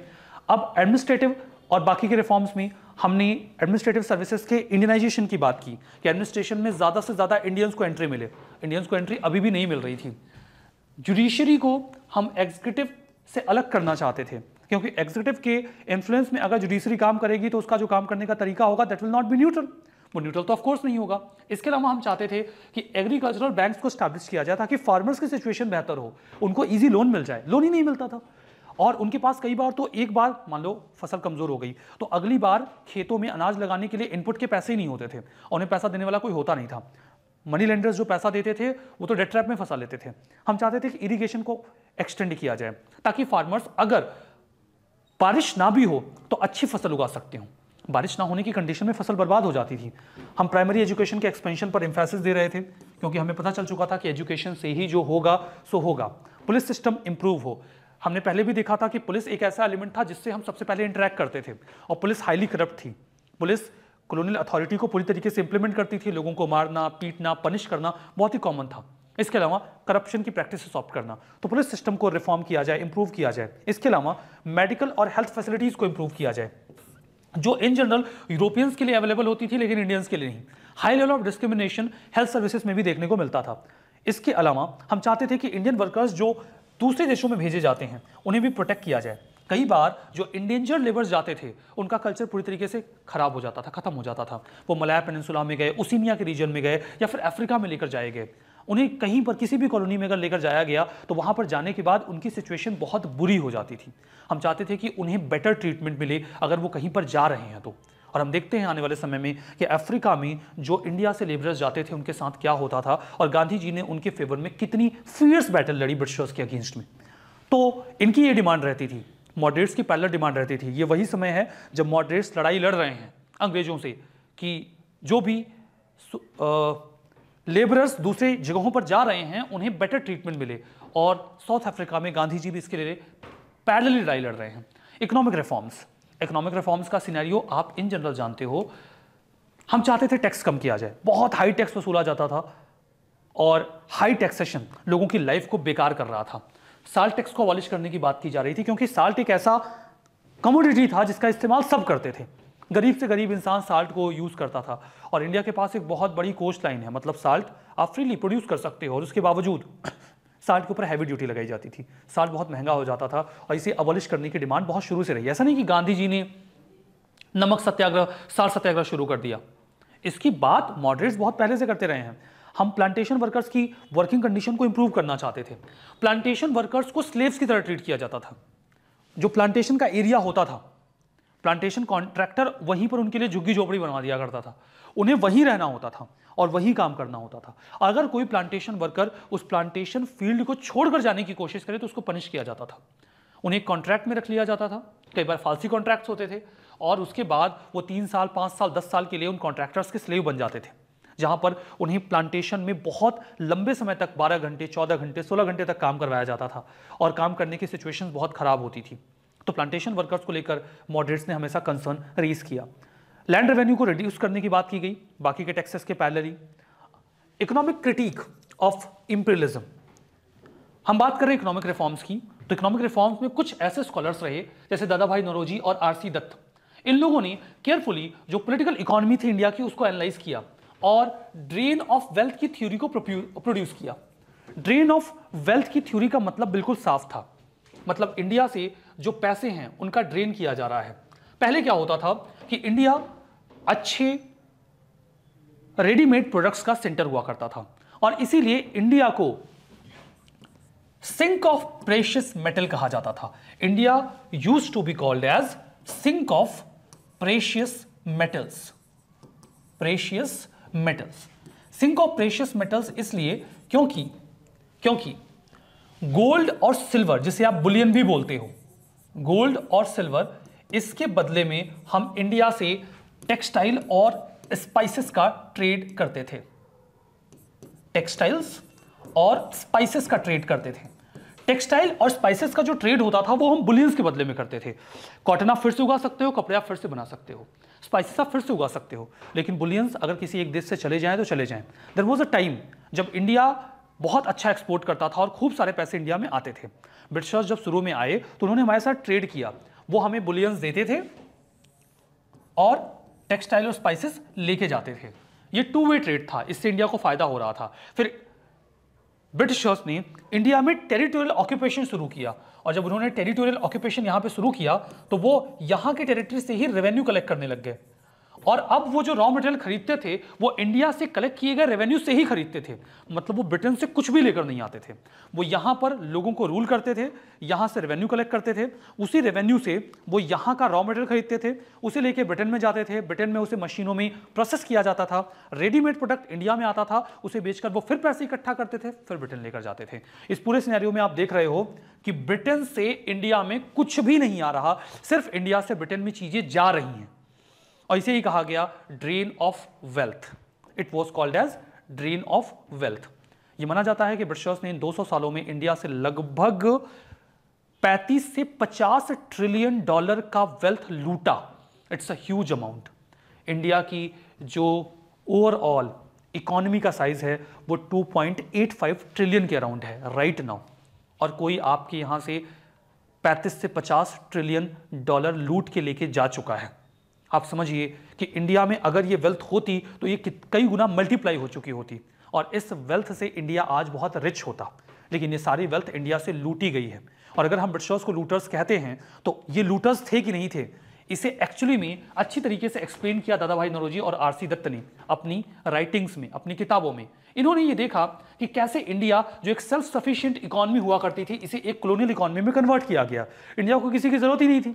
इंडिया बहुत रेयरली कुछ इंपोर्ट करता था। इंडिया ज़्यादातर चीज़ें एक्सपोर्ट करता था। हम एक स्ट्रॉन्ग एक्सपोर्टर थे। बैलेंस ऑफ़ ट्रेड में हमेशा हम प्रॉफिट में रहते थे। और फिर हमें जानबूझकर डेलिबरेटली एक इंपोर्ट ओरिएंटेड इकोनॉमी में कन्वर्ट किया गया। हमारे एक्सपोर्ट को ब्लॉक किया गया सप्रेस किया गया, खत्म किया गया। हैवी ड्यूटी लगा के हैवी टैक्स लगा के कॉलोनियल पॉलिसीज़ ऑप्ट करके। इस चीज़ को एनालाइज किया इन इकोनॉमिस्ट ने। ये चाहते थे कि ब्रिटिशर्स के अगेंस्ट में एक ओपिनियन क्रिएट हो जाए कि इंडिया में जो पॉवर्टी है, उसके लिए ब्रिटिशर्स ही रिस्पॉन्सिबल है। अक्सर वो ये बोला करते थे कि इंडिया एक गरीब देश है। इंडिया कभी से गरीब देश नहीं था। इंडिया को गरीब बनाया गया था। और ये बात जो कहते थे कि इंडिया एक गरीब देश है, इंडिया को गरीब बनाने वाले लोग यही थे। तो ये इकोनॉमिस्ट ये कॉमन सेंस क्रिएट करना चाहते थे कि जो ये बोल रहे हैं ना कि इंडिया गरीब है, इंडिया को गरीब बनाने वाले लोग यही हैं। और इकोनॉमिक एक्सप्लेनेशन जो आरसी दत्त और दादा भाई नरोजी ने दिया, उसने इंडियंस की आँखें खोल दी। हमारे पास आंकड़े नहीं थे कि एक्चुअली में इंडिया की नेशनल इनकम क्या है कितना पैसा यहाँ से हर साल ब्रिटेन जाता है किन किन मदों में जाता है किन किन रेफरेंसेस में जाता है, हमें कुछ नहीं पता था। हम हाईली अनअवेयर थे, क्योंकि ऐसा कोई एनालिसिस प्रेजेंटेड ही नहीं था। जब ये एनालिसिस आया तो हमारी आँखें खुलना शुरू होती हैं। इन्होंने डिमांड की कि इंडिया को एक इंडिपेंडेंट इकोनॉमी में बनाया कन्वर्ट किया जाए। और जो इंडिया का कैपिटल है, उसे मिसयूज ना किया जाए। साल टैक्स को अबॉलिश किया जाए लैंड रेवेन्यू को रिड्यूस किया जाए मिलिट्री एक्सपेंडिचर को कम किया जाए। मॉडर्न इंडस्ट्री को इंडिया में एक्सपेंड किया जाए टैरिफ को प्रोटेक्ट किया जाए और गवर्नमेंट एड दे ताकि इंडिया की इंडस्ट्रीज़ भी आगे बढ़ सके। जैसे हर गवर्नमेंट अपनी इंडस्ट्रीज़ को एड देती है, लेकिन वो एड देते थे ब्रिटेन की इंडस्ट्रीज़ को। इंडिया को क्यों देंगे? इंडिया से तो उनको रॉ मटेरियल चाहिए था ना। इंडिया को तो उनको एक मार्केट की तरह इस्तेमाल करना था। बट इन इकोनॉमिस्ट ने इकोनॉमिक फ़ील्ड में डिमांड्स को रेज करना शुरू किया। तो इकोनॉमिस्ट ने जो काम किया, उसने एक्चुअली में ब्रिटिशर्स के ट्रू नेचर को इंडिया की मासेस के सामने रखा आसान भाषा में कि देखो हो क्या रहा है आपके सामने। Just have look what's happening there ठीक है। मॉडरेट्स का अप्रोच क्या था? मॉडरेट्स का अप्रोच था कॉन्स्टिट्यूशनल एजुटेशन वो प्रेयर पेटिशन और प्रोटेस्ट के ज़रिए अपना काम चलाते थे। प्रेयर पेटिशन और प्रोटेस्ट बार बार रिमाइंडर्स भेजे जाते थे। एप्लीकेशन लेटर्स भेजे जाते थे कि प्लीज़ हमारी ये बात मान लीजिए। तो उनका जो मैकेनिज्म था दैट वाज कॉन्स्टिट्यूशनल एजुटेशन वो पॉलिटिकल प्रोग्रेस इंडिया में चाहते थे, लेकिन ऑर्डरली मैनर में। वो सरकार के ऊपर कोई बहुत दबाव नहीं बनाना चाहते थे। वो सिर्फ़ इतना कहना चाहते थे कि सरकार उनकी बात मान ले और उनके अगेंस्ट में कोई कार्रवाई ना हो। वो ये चाहते थे मतलब उनके मन में एक भाव था। वो कैसे था, क्यों था आई डोंट नो उन्हें ऐसा लगता था कि ब्रिटिशर्स को पता ही नहीं है कि इंडियंस की एक्चुअली में सिचुएशन क्या है। They are highly unaware about the plight of the Indians they will be aware about the plights of the individuals of the in, individuals who are residing in India वो Indians की care करेंगे और वो हमारी problems resolve करेंगे। तो moderates को ऐसा लगता था वो जानते ही नहीं है हमारी हालत क्या है। और ये उन्हें बस हमारी हालत बताने की कोशिश करते थे। कितने इनोसेंट थे ना ये लोग? मतलब वो लोग जिन्होंने आपकी ये हालत की है उन्हें पता ही नहीं कि आपकी हालत क्या है। ये हालत बयां कर रहे थे। उन्हें सब कुछ पता था कि यहाँ की हालत क्या है, क्योंकि ये हालत उन्होंने ही करी थी। स्टिल इन्हें ये बिलीव था। वो पब्लिक ओपिनियन क्रिएट करना चाहते थे रिजोल्यूशन पटिशन और मीटिंग्स के थ्रू ताकि वो बता सकें कि इंडियंस की हालत इस समय कैसी चल रही है। वो एक स्ट्रांग पब्लिक ओपिनियन क्रिएट करके लोगों को एजुकेट और यूनाइट करना चाहते थे। और इसके थ्रू वो प्रेशराइज करना चाहते थे परसुएट करना चाहते थे ब्रिटिशर्स को कि वो इंडिया में कॉन्स्टिट्यूशनल रिफॉर्म्स करें। यहाँ पर देखिए मॉडरेट्स का अप्रोच क्या रहा? ये अक्सर प्रेयर और पिटिशन का सहारा लेते थे। कई बार ये कॉन्स्टिट्यूशनल एजिटेशन भी करते थे। कॉन्स्टिट्यूशनल एजिटेशन कोई फियर्स या आर्म्ड एजिटेशन नहीं करते थे। सिर्फ़ एजिटेट करते थे कि देखिए, आप ऐसा नहीं करोगे तो ठीक नहीं होगा। ठीक है? तो इनका जो एजिटेशन था, यानी कि प्रोटेस्ट का मॉडल था, वो बहुत मॉडरेट था। तो प्रेयर पेटिशन एंड प्रोटेस्ट ये इनके मॉडल्स थे। प्रेयर पेटिशन एंड प्रोटेस्ट ठीक है? ये ब्रिटिश पब्लिक ओपिनियन को मतलब जो एजुकेटेड यहाँ पे जो लोगों की सिचुएशन थी, इसको लेकर ब्रिटेन में पब्लिक ओपिनियन क्रिएट करना चाहते थे। ब्रिटिश पब्लिक को एजुकेट करना चाहते थे इंडियंस की प्लाइट के बारे में। उन्हें लगता था कि ब्रिटिशर्स अगर जान जाएँगे ना कि इंडिया में क्या चल रहा है तो इंडियंस के लिए सिंपथी रखेंगे। वो अपने पार्लियामेंटेरियंस को प्रेशराइज करेंगे कि इंडियंस के साथ ऐसा मत करो। दत्ताभाई नरोजी ने कैंपेन चलाया इंडिया के केस के लिए ब्रिटेन में। उन्होंने इंडियन नेशनल कांग्रेस की एक ब्रिटिश कमेटी को भी स्टैब्लिश किया लंदन में 1889 में। 1889 में लंदन में एक कमेटी स्टैब्लिश की गई। वो आईएनसी की कमेटी थी, एक और प्लान बनाया था। प्लान ये था कि कांग्रेस का जो नेक्स्ट सेशन होगा, वो 1892 में हम लंदन में करेंगे। हालाँकि वहाँ पे इलेक्शंस हो रहे थे तो इस सेशन को पोस्टपोन कर दिया गया। ये सेशन पोस्टपोन हो गया because of the election. That was being held there election की वजह से इसे पोस्टपोन किया गया। बाद में कभी ये प्लान फिर से रिवाइज नहीं किया गया। इन्हें ऐसा लगता था कि ब्रिटेन के साथ हमारे जो पोलिटिकल कनेक्शन होंगे मॉडरेट्स को ऐसा लगता था कि ब्रिटिशर्स का रूल इंडिया में बेहतर है। हमारा जो पोलिटिकल कनेक्शन है ब्रिटेन के साथ, वो इंडियंस के फेवर में रहेगा और इससे इंडियंस को बहुत ज़्यादा फ़ायदा होगा। ये दो किताबें हैं। एक है आर सी दत्ता की the economic history of India और दूसरी दत्ता भाई नरोजी की poverty and un British rule in India what is this un British rule Dadabhai Naoroji और ये लोग बहुत स्मार्टली काम करते थे। अगर आप ब्रिटिशर्स के अगेंस्ट में बहुत एग्रेसिव बात करोगे तो वो फिर प्रोसिक्यूशन करेंगे सप्रेशन करेंगे, आपकी किताबें पब्लिश नहीं होने देंगे। इस किताब का टाइटल देखेंगे तो आपको समझ में आ जाएगा कि इस किताब को रोकने का कोई कारण नहीं है, ये किताब पब्लिश होनी चाहिए। क्योंकि इसमें कहा गया है poverty and un British rule in India ये ये बोल ही नहीं रहे हैं कि ब्रिटिश रूल अच्छा है कि खराब है। ये कह रहे हैं कि ब्रिटिश रूल अच्छा है, लेकिन इंडिया में ब्रिटिश रूल नहीं है। दादा भाई नरोजी बोलते हैं कि ब्रिटेन बहुत अच्छा रूल करता है, ब्रिटेन में। वैसा रूल इंडिया में क्यों नहीं है? Why this kind of rule is not here in India so in India there is not British rule यहाँ पे क्या है? अन ब्रिटिश रूल है। वो जो गवर्नमेंट इंडिया में रूल कर रही है, उसको क्रिटिसाइज करते थे और जो रूल ब्रिटेन में चल रहा है, उसको सपोर्ट करते थे। और कहते थे कि जो पॉलिटिकल फ्रीडम जो इकोनॉमिक पॉलिसीज़ आप ब्रिटेन में रन करते हो, वही इंडिया में करो ना, हमें कोई दिक्कत ही नहीं है। ब्रिटेन में लोगों को आज़ादी थी, यहाँ नहीं थी।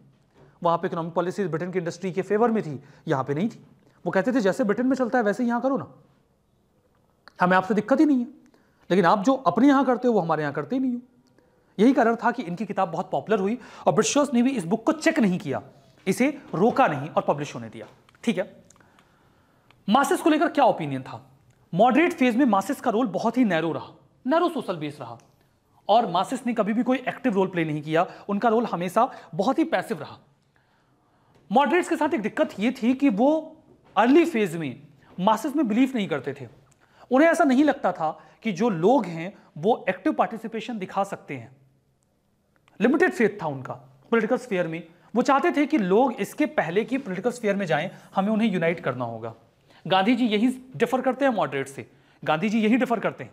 मॉडरेट्स को क्या लगता था कि इंडियंस में चूँकि बहुत डिफरेंसेस हैं, पहले हम इंडियंस को इकट्ठा करेंगे और उसके बाद हम इनको पॉलिटिकल एजिटेशन का पार्ट बनाएँगे।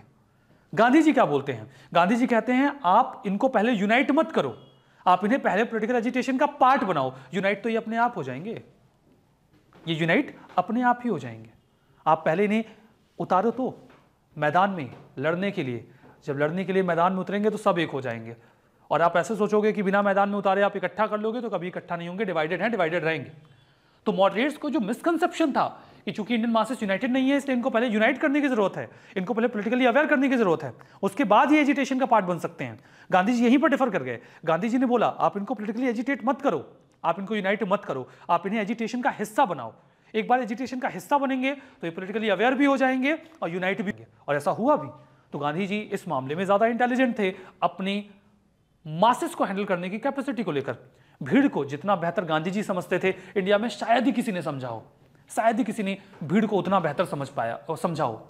मास पार्टिसिपेशन की कमी की वजह से कभी भी कोई मिलिटेंट पॉलिटिकल पोजीशन नहीं होल्ड कर पाए ये लोग। ठीक है? ये हमेशा सॉफ्ट ही रहे, क्योंकि इनके पास कभी मास सपोर्ट था ही नहीं। बाद के नेशनलिस्ट इसी पॉइंट पर मॉडरेट से डिफर कर गए और कहीं ना कहीं उन्होंने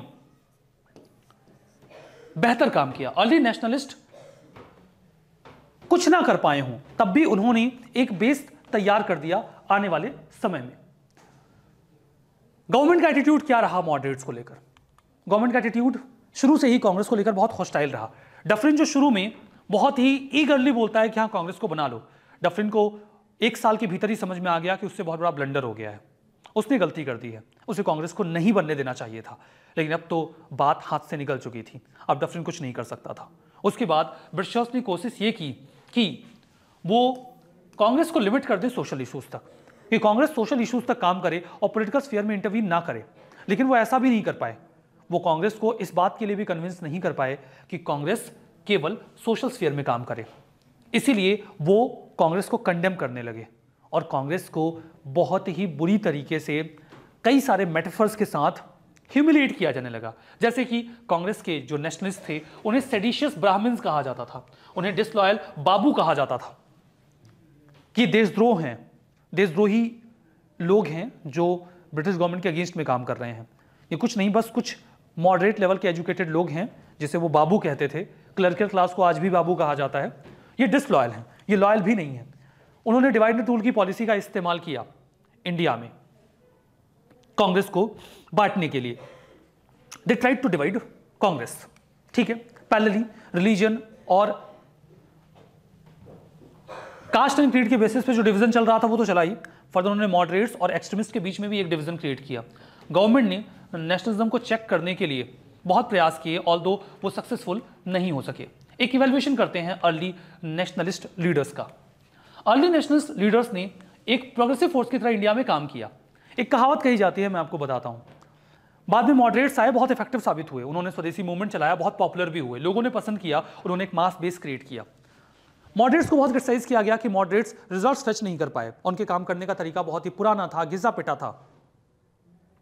लेकिन कहावत कही जाती है कि extremist could be extremist because moderates for moderate extremist extremist बन पाए क्योंकि मॉडरेट्स मॉडरेट थे। अगर मॉडरेट्स मॉडरेट ना रहे होते तो कांग्रेस होती ही नहीं। ना कांग्रेस होती और ना ही एक्सट्रीमिस्ट को कभी एक्सट्रीमिस्ट बनने का मौका मिलता। किसी ने 20 साल तक शांति से काम किया था। किसी ने आईएनसी का बेस तैयार किया था। तब आप उस बेस पर जाकर खड़े हो सके और बोल सके कि अब हम एजुटेशन करेंगे, हम ऑल इंडिया लेवल पर प्रोटेस्ट ऑर्गेनाइज करेंगे। क्यों? क्योंकि एक स्ट्रांग कांग्रेस किसी ने बिल्ड की थी शांति से स्मार्टली अंग्रेज़ों के खिलाफ। अगर मॉडरेट्स शुरू में ही एग्रेसिव हो गए होते तो कांग्रेस को खत्म कर दिया जाता। तो यही बात कही जाती है कि कांग्रेस भले ही शुरू में मॉडरेट फ़ेज़ में बेहतर काम ना कर पाई हो, लेकिन उन्होंने एक प्रोग्रेसिव फोर्स की तरह काम किया। उन्होंने इंडियंस के अंदर एक नेशनल अवेकनिंग क्रिएट की। उनको यह बताया कि आपके एनिमी कॉमन हैं। हिंदू, मुसलमान, सिख, इस, ईसाई को छोड़ देते हैं अभी। ठीक है, क्योंकि वो लोग तो प्रोटेक्शन में थे ब्रिटिशर्स के ना तो उन्हें दिक्कत नहीं होती थी। अभी तो हम एक्यूमिडेट अकोमोडेट करते हैं सभी रिलीजन्स को।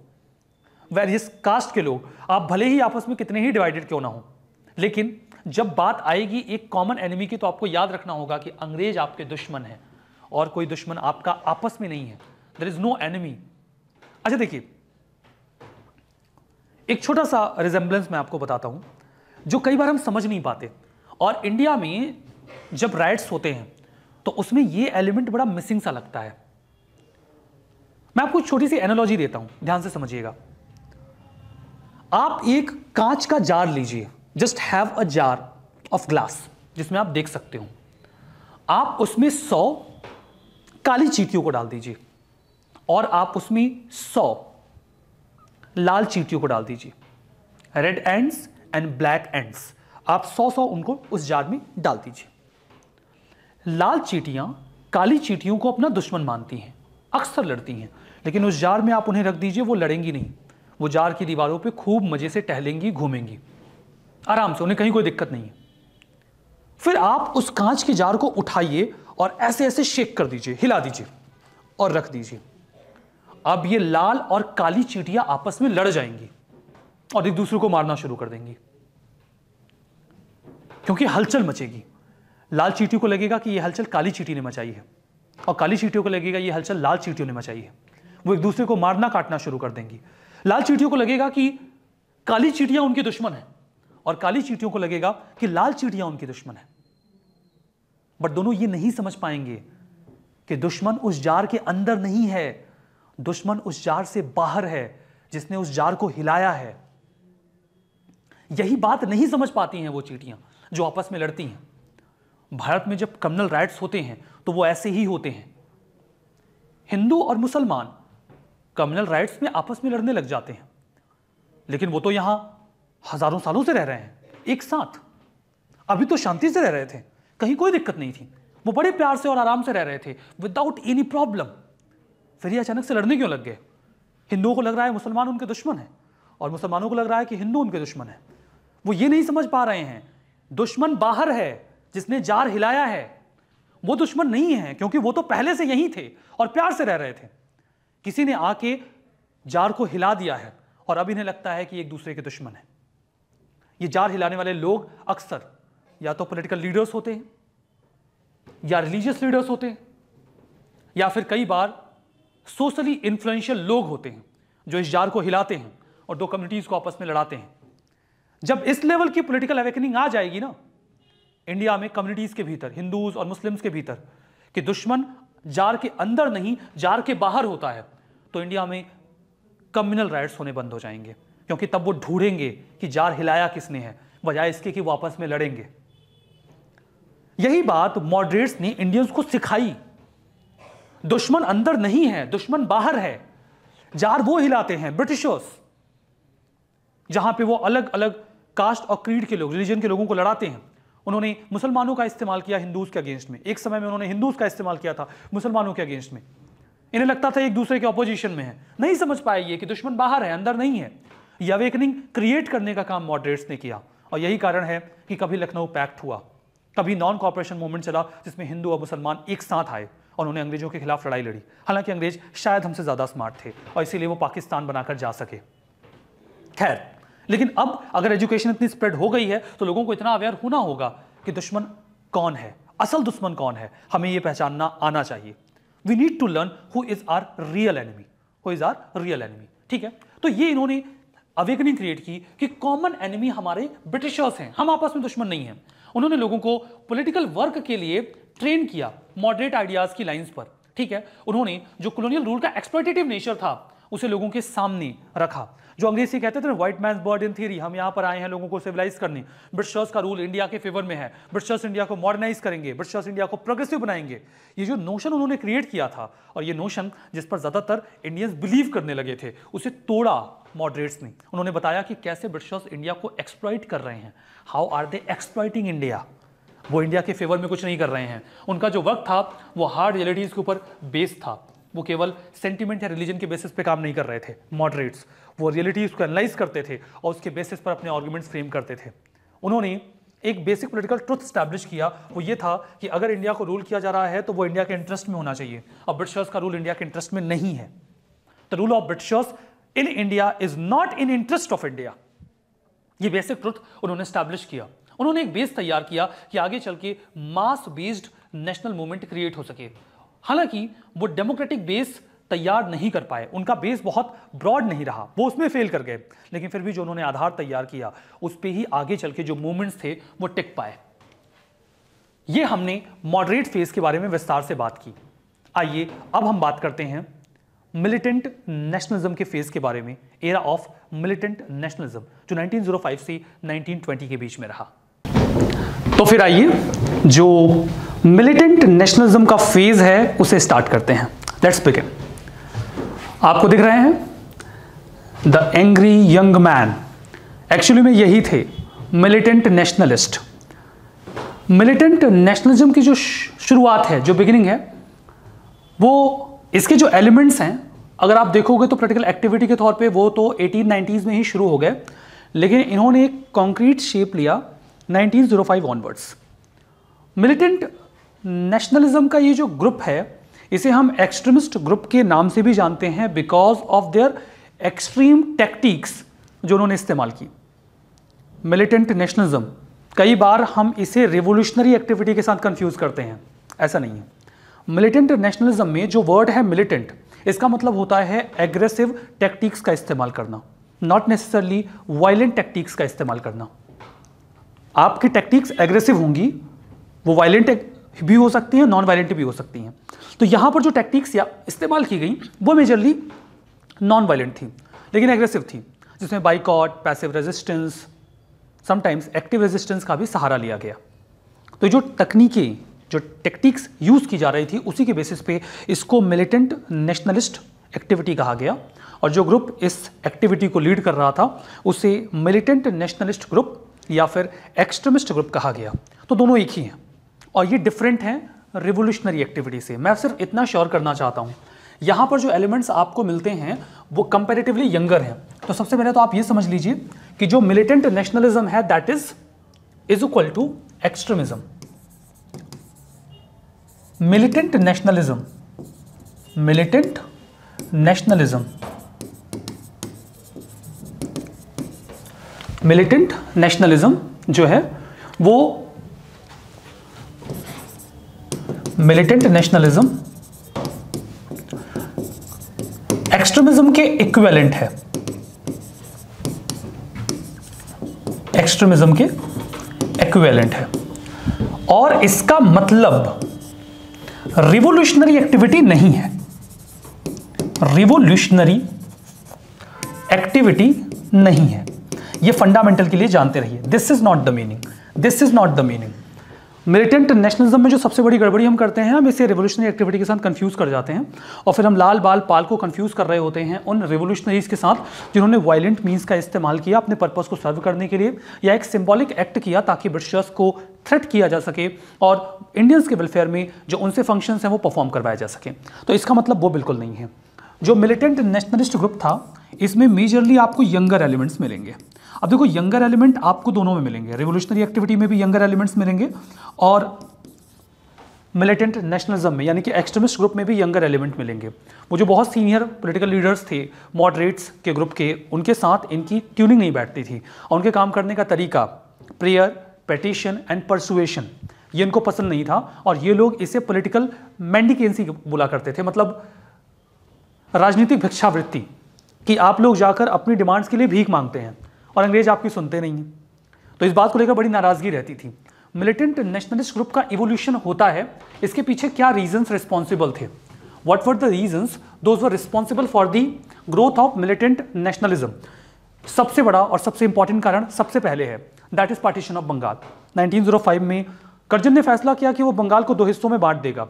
ये सबसे बड़ा कारण था। जो फ़ेज़ चलता है मिलिटेंट नेशनलिज्म का, उसमें दो महत्वपूर्ण घटनाएँ घटित होती हैं। There were two important factors दो इंपॉर्टेंट घटनाएँ हैं जो घटित होती हैं। एक तो है बंगाल का पार्टीशन और दूसरा है स्वदेशी इन बाइकॉट मूवमेंट इन दोनों ही एलिमेंट्स को हम डिटेल से डिस्कस करेंगे with the part of this session अब यहाँ पर देखिए, ये सबसे बड़ा कारण था। ये सबसे बड़ा कारण था मिलिटेंट नेशनलिज्म के या फिर एक्सट्रीमिस्ट खेमे के राइज का इंडिया में। इसके अलावा अगर आप रीजंस की बात कर रहे हैं तो धीमे धीमे कई सारे लीडर्स इवॉल्व हुए, जैसे कि बाल गंगाधर तिलक और बिंदु घोष और बिपिन चंद्र पाल, जिन्हें बाल बाल, लाल बाल पाल के नाम से भी पुकारा जाता था। लाल फॉर लाला लाजपत राय, बाल फॉर बाल गंगाधर तिलक और पाल फॉर बिपिन चंद्र पाल और अरविंदो घोष भी। इन सभी लोगों ने लोगों के अंदर मासेस के अंदर एक sense of self confidence introduce किया। ये बोला कि हाँ आप इंडिया के एक्चुअल रेसिडेंट हैं। इंडिया मस्ट बी यूर्स इसके पहले दयानंद सरस्वती जी ने भी एक बात कह दी थी that was India for Indians तो कहा जाता है कि नेशनलिज्म की जो फीलिंग है, वो दयानंद सरस्वती जी ने अपनी स्लोगन से जनरेट करी थी इंडिया फॉर इंडियंस और इसी चीज़ को री इनकलकेट करने का काम इन लीडर्स ने किया। तो लोगों के अंदर अब सेंस ऑफ़ सेल्फ रेस्पेक्ट और कॉन्फिडेंस आ गया था। वो कन्फ्रंट करने को तैयार थे, वो थोड़ा एग्रेसिव होने को तैयार थे। ये भी एक कारण था, ठीक है? इसके अलावा जो मॉडरेट फ़ेज़ है, इसने लोगों को पोलिटिकल ट्रेनिंग दे दी थी। अब लोग थोड़ा पॉलिटिकल इश्यूज़ को लेकर एजुकेट हो गए थे। अब उन्हें अगर अपनी डिमांड्स रेज करनी होती थी तो वो हेजिटेंट नहीं होते थे। वो बहुत ही फ्रिक्वेंटली अपनी मांगे अंग्रेज़ों के सामने रख देते थे बिना घबराए। एजुकेशन अब इंक्रीज हो गई थी। लोग अनएम्प्लॉयमेंट पॉवर्टी और अंडर डेवलपमेंट जो भी इश्यूज़ थे, उनको लेकर अवेयर थे। पहले क्या लगता था उनको कि ये जो कुछ भी हो रहा है दैट इज़ गॉड्स विल अगर क्रॉप फेल कर गई गॉड्स विल फॉमाइन आ गया गॉड्स विल प्लेग आ गया गॉड्स विल लेकिन धीमे धीमे उन्हें ये समझ में आने लगा। वो अवेयर हो गए कि एक्चुअली में ये सारी गॉड्स विल नहीं है। ये बैड पॉलिसीज़ का रिज़ल्ट है। क्योंकि अंग्रेज़ों ने ऐसी पॉलिसीज़ बना रखी हैं कि अगर फमाइन आ जाता है तो उसे काउंटर करने के लिए कुछ भी नहीं किया जाता। प्लेग आ जाए तो उसे सही तरीके से हैंडल नहीं किया जाता। जबकि बाकी जगहों पर ये प्रॉब्लम्स तो आती रहती हैं, लेकिन कैजुअलिटीज़ इतनी ज़्यादा नहीं होती। तो धीमे धीमे अवेयर होने लग गए हम, जो एक्सप्लोटेटिव नेचर था ब्रिटिशर्स का इंडिया में, उसको लेकर। और इसको लेकर लोग थोड़ा एग्रेसिव होने को राज़ी हो गए। ये भी एक बड़ा कारण रहा। वेस्टर्नाइजेशन काफ़ी तेज़ी से बढ़ रहा था और लोगों को लग रहा था कि अगर इतनी ही स्पीड से वेस्टर्नाइजेशन होता रहा तो अल्टीमेटली इंडिया का जो कल्चर है, वो सबॉर्डिनेट कर दिया जाएगा वेस्टर्न कल्चर के द्वारा। और हम अपनी कल्चर अपनी आइडेंटिटी अपने रिलीजन को खो देंगे। इसको लेकर जो डर था, इसके अलावा कुछ लीडर्स जैसे कि स्वामी विवेकानंद, स्वामी दयानंद सरस्वती, बंकिम चंद्र चटर्जी, इन सभी लोगों ने जो मासेस थे, या जो नेशनलिस्ट थे, उनको अर्ज़ किया कि इंडियन सिविलाइजेशन को लेकर आपको प्राइड फील करना चाहिए। आपकी सिविलाइजेशन बहुत ही रिच रही है। कोई यहाँ पर आपका व्हाइट मैन बर्डन थ्योरी लेकर आकर ये बोले कि हाँ हम आपको सिविलाइज करने आ रहे हैं तो बेकार की बात है। हम ऑलरेडी बहुत सिविलाइज थे। जब यूरोप में लोग पत्ते और पेड़ की छाल के कपड़े पहना करते थे, अपनी बॉडी को नीले रंग से कलर किया करते थे, जानवरों से बचने के लिए पेड़ों पर पे चढ़ जाया करते थे। दैट वॉज़ द टाइम जब इंडियन सिविलाइजेशन थ्राइविंग थी। हमारा कल्चर रिच था। हमारी science technology medicine advance level पे था। ऐसी सिविलाइजेशन को ये नए नवेले सिविलाइज्ड टेरिटरी के लोग नेशन के लोग सिविलाइज करने आए हैं। आप इस पर भरोसा मत करिए। Believe in your culture believe in your civilisation आप ऑलरेडी रिच हैं अपनी सिविलाइजेशनल वैल्यूज़ में, अपनी कल्चरल वैल्यूज़ में। आपको किसी से सिविलाइजेशन का पाठ पढ़ने की ज़रूरत नहीं है। जब इन स्कॉलर्स ने इस चीज़ को इनकलकेट करने की शुरुआत की तो हमारे अंदर भी सेल्फ कॉन्फिडेंस आया। और अभी समझ में आने लगा कि हम किसी से निचले दर्जे के नहीं हैं।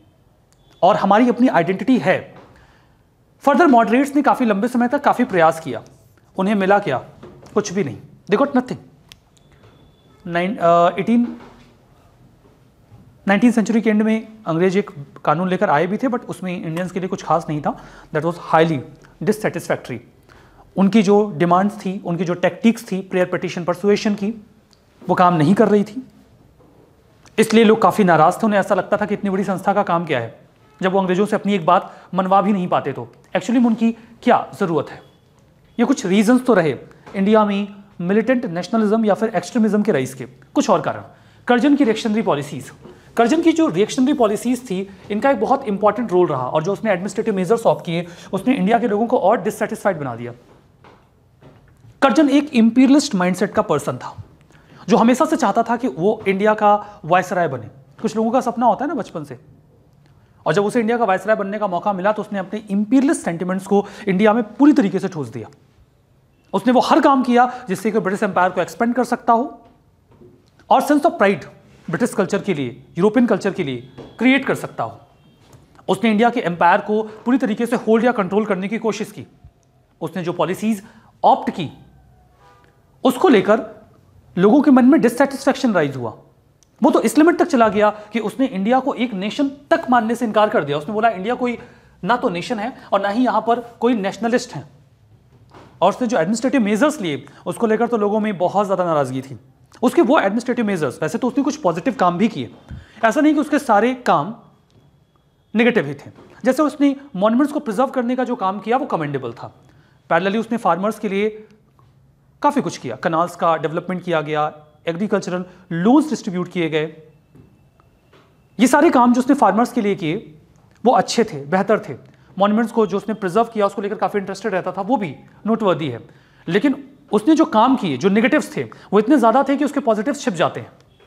जब उसने नेगेटिव्स किए तो वो एक्सट्रीम पर गया। उसका जो सबसे निगेटिव काम था that was the partition of Bengal जिसे भारत ने एक बहुत बड़ा मूवमेंट क्रिएट कर दिया with the name swadeshi and boycott लेकिन इसके अलावा, उसने कुछ और भी किया, जो बहुत बढ़िया तो नहीं था। That was Calcutta corporation act Calcutta corporation act आप कहें इसे, जो पहले नाम हुआ करता था 1899 मैंने आपको एक बात बहुत शुरू में बताई थी। और वो बात क्या थी? कि जब भी हम रिफॉर्म मांगते थे तो क्या बोलते थे? जब हम रिफॉर्म मांगते थे तो हम हमेशा बोलते थे कि आप इलेक्टेड मेंबर्स की संख्या को बढ़ाइए और नॉमिनेटेड मेंबर्स की संख्या को कम करिए। हम चाहते थे कि नॉमिनेटेड मेंबर्स की संख्या को कम किया जाए, क्योंकि जो नॉमिनेट होते हैं, उन्हें गवर्नमेंट नॉमिनेट करती है। जो इलेक्ट होते हैं, वो थोड़ा बहुत तो इंडिपेंडेंट या फेयर हो ही सकते हैं। दूसरा, हम हमेशा चाहते हैं कि जो नॉन ऑफिशियल मेंबर्स हैं, जो नॉन ऑफिशियल मेंबर्स हैं, उनकी संख्या को ज़्यादा किया जाए। और जो ऑफिशियल मेंबर्स हैं, उनकी संख्या को एडमिनिस्ट्रेशन में कम किया जाए। इंडियंस की डिमांड हमेशा ये रहती है, हम चाहते हैं इलेक्टेड मेंबर बढ़ें नॉमिनेटेड कम हों। हम चाहते हैं नॉन ऑफिशियल मेंबर्स बढ़ें और ऑफिशियल कम हों। ऑफिशियल मेंबर्स कंपनी के या गवर्नमेंट ऑफिशियल्स होते हैं जिनको लेजिस्लेचर में जगह दे दी जाती है या किसी भी गवर्नमेंट बॉडी जैसे कि कलकत्ता कॉरपोरेशन में जगह दे दी जाती है। उसने कलकत्ता कॉरपोरेशन एक्ट में ऐसा क्या किया जो हमारे लिए नेगेटिव था और इसके लिए कर्जन को क्रिटिसाइज किया जाता है? ये फंडामेंटल जानना ज़रूरी है, क्योंकि हम चाहते हैं इलेक्टेड मेंबर्स को बढ़ाया जाए नॉमिनेटेड को कम किया जाए। अगर कोई नॉमिनेटेड मेंबर्स की संख्या को बढ़ाएगा तो हमें आपत्ति होगी। दूसरा, अगर कोई ऑफिशियल मेंबर्स की संख्या को बढ़ाएगा तो हमें आपत्ति होगी। क्या किया गया? कलकत्ता कॉर्पोरेशन एक्ट में। सबसे पहले तो इलेक्टेड मेंबर्स की संख्या को रिड्यूस कर दिया गया। समझ रहे हो? अगर इलेक्टेड मेंबर्स की संख्या को रिड्यूस किया गया है तो नॉमिनेटेड मेंबर्स की संख्या बढ़ जाएगी। हमें आपत्ति होगी कि नहीं होगी? ये उसका तरीका था कैलकाटा कॉर्पोरेशन को कंट्रोल करने का। दूसरा, उसने ऑफिशियल मेंबर्स को इंक्रीज कर दिया। यही तो हम नहीं चाहते। हम हमेशा चाहते हैं नॉन ऑफिशियल मेंबर्स इंक्रीज हों। जो गवर्नमेंट ऑफिशियल ना हो, क्योंकि वो गवर्नमेंट की सुनते हैं। ये फंडामेंटल्स जानना ज़रूरी है कि ऑफिशियल नॉन ऑफिशियल का मतलब क्या है इलेक्टेड नॉमिनेटेड का मतलब क्या है, ताकि आपको पता चल सके, कल सके आप समझ सको कि जो मेजर्स ऑप्ट किए जा रहे हैं, वो एक्चुअली में फ़ायदेमंद है भी या नहीं है। यहाँ पे हमें साफ़ समझ में आ रहा है कि वो बोल रहा है इलेक्टेड मेंबर्स की संख्या को कम कर दो ऑफिशियल मेंबर्स की संख्या को बढ़ा दो। तो जो हम चाहते हैं, उसका उल्टा किया जा रहा है। हमें तो दिक्कत होगी ऑफकोर्स होगी। उसने ये बोला कि जो इंग्लिश लोग हैं, उन्हें ज़्यादा रिप्रेजेंटेशन दिया जाए कलकत्ता कॉर्पोरेशन एक्ट में। और इससे लोग काफ़ी नाराज़ थे। Calcutta corporation act highly offensive था। दूसरा, उसने इंडियन यूनिवर्सिटी एक्ट 1904 पास किया। जब वो यहाँ पर आया तो उसने इस बात को बिल्कुल मान लिया कि जो इंडिया की यूनिवर्सिटीज हैं, वो सेडिशन का सेंटर है। यहाँ पे कोई पढ़ाई लिखाई नहीं होती, कोई रिसर्च नहीं होती और यहाँ पे लोगों को एजुकेट किया जाता है पॉलिटिकली जिसके बाद वो एजुकेट करते हैं ब्रिटिश गवर्नमेंट के अगेंस्ट में और देशद्रोह का काम करते हैं। उसने ये स्टैब्लिश्ड माना और उसके बाद उसने इंडिया की एजुकेशन को कंट्रोल करने का प्लान बनाया। क्योंकि अगर आप एजुकेशनल इंस्टीट्यूशंस को कंट्रोल कर ले तो आप लोगों के माइंड को कंट्रोल कर सकते हैं। और उसने यही काम शुरू किया कि वो इंडिया के एजुकेशनल इंस्टीट्यूशंस को कंट्रोल करेगा। और ऐसा करने के लिए सबसे पहले तो उसने रैले कमीशन को बनाया 1902 में। रैले स्पेलिंग मिलती है बट रैले बोलते हैं।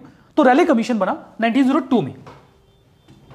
जो रैले कमीशन 1902 में बनता है, उसकी रिकमेंडेशन के बेसिस पर फाइनली उसने 1904 में इंडियन यूनिवर्सिटी एक्ट को पास किया।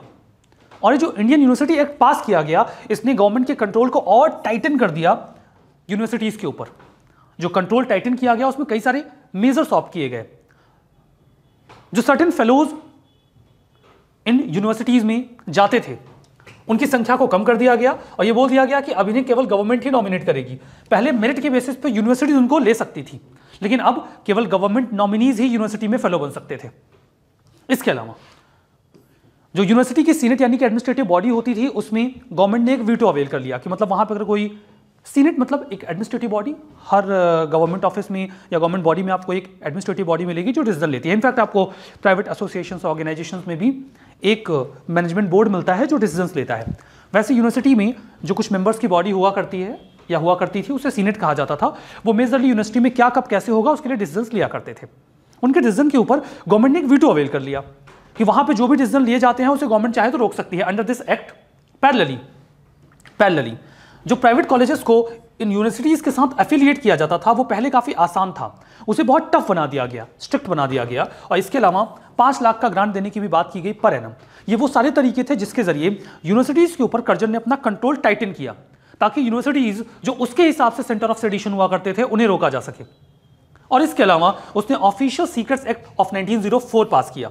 ऑफिशियल सीक्रेट एक्ट का मतलब यह है कि something that is officially secret official मतलब गवर्नमेंट का सीक्रेट कुछ जो गवर्नमेंट का सीक्रेट है, उसे न्यूज़पेपर में पब्लिश नहीं किया जा सकता. That was an attempt to curb the independence of the press and media अगर कुछ भी ऐसा छापा गया, जो सरकार के हिसाब से उनका सीक्रेट है, और तो उसे इलीगल माना जाएगा और उस पब्लिकेशन हाउस को पनिश किया जा सकता है.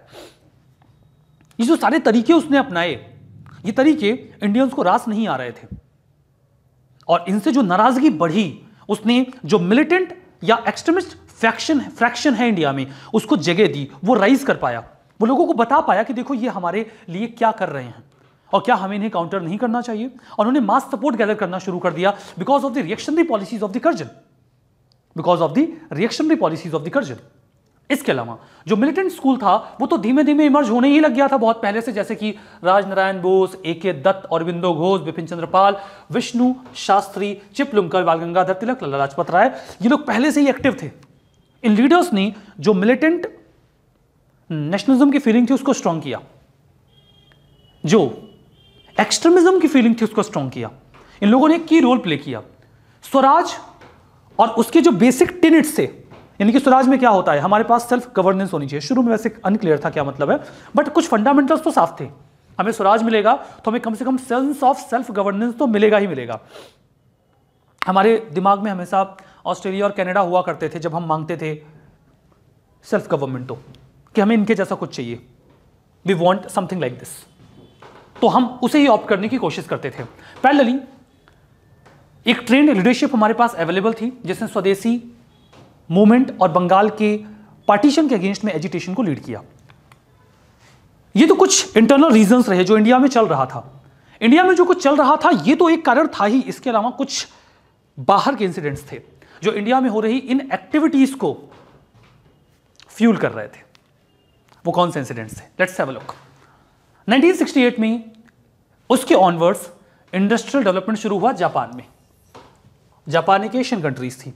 एक कॉमन सेंस डेवलप किया था यूरोपियंस ने, ना केवल इंडिया में, बल्कि लगभग हर देश में, कि एशियन कंट्रीज़ इंडस्ट्रियलाइज नहीं हो सकती। एशियन कंट्रीज़ टेक्नोलॉजिकली एडवांस नहीं हो सकती। एशियन कंट्रीज़ डेवलप नहीं हो सकती। अगर उन्हें टेक्नोलॉजिकली एडवांस होना है, उन्हें इंडस्ट्रियलाइज होना है, उन्हें डेवलप होना है, उन्हें किसी यूरोपियन कंट्री की ज़रूरत पड़ेगी।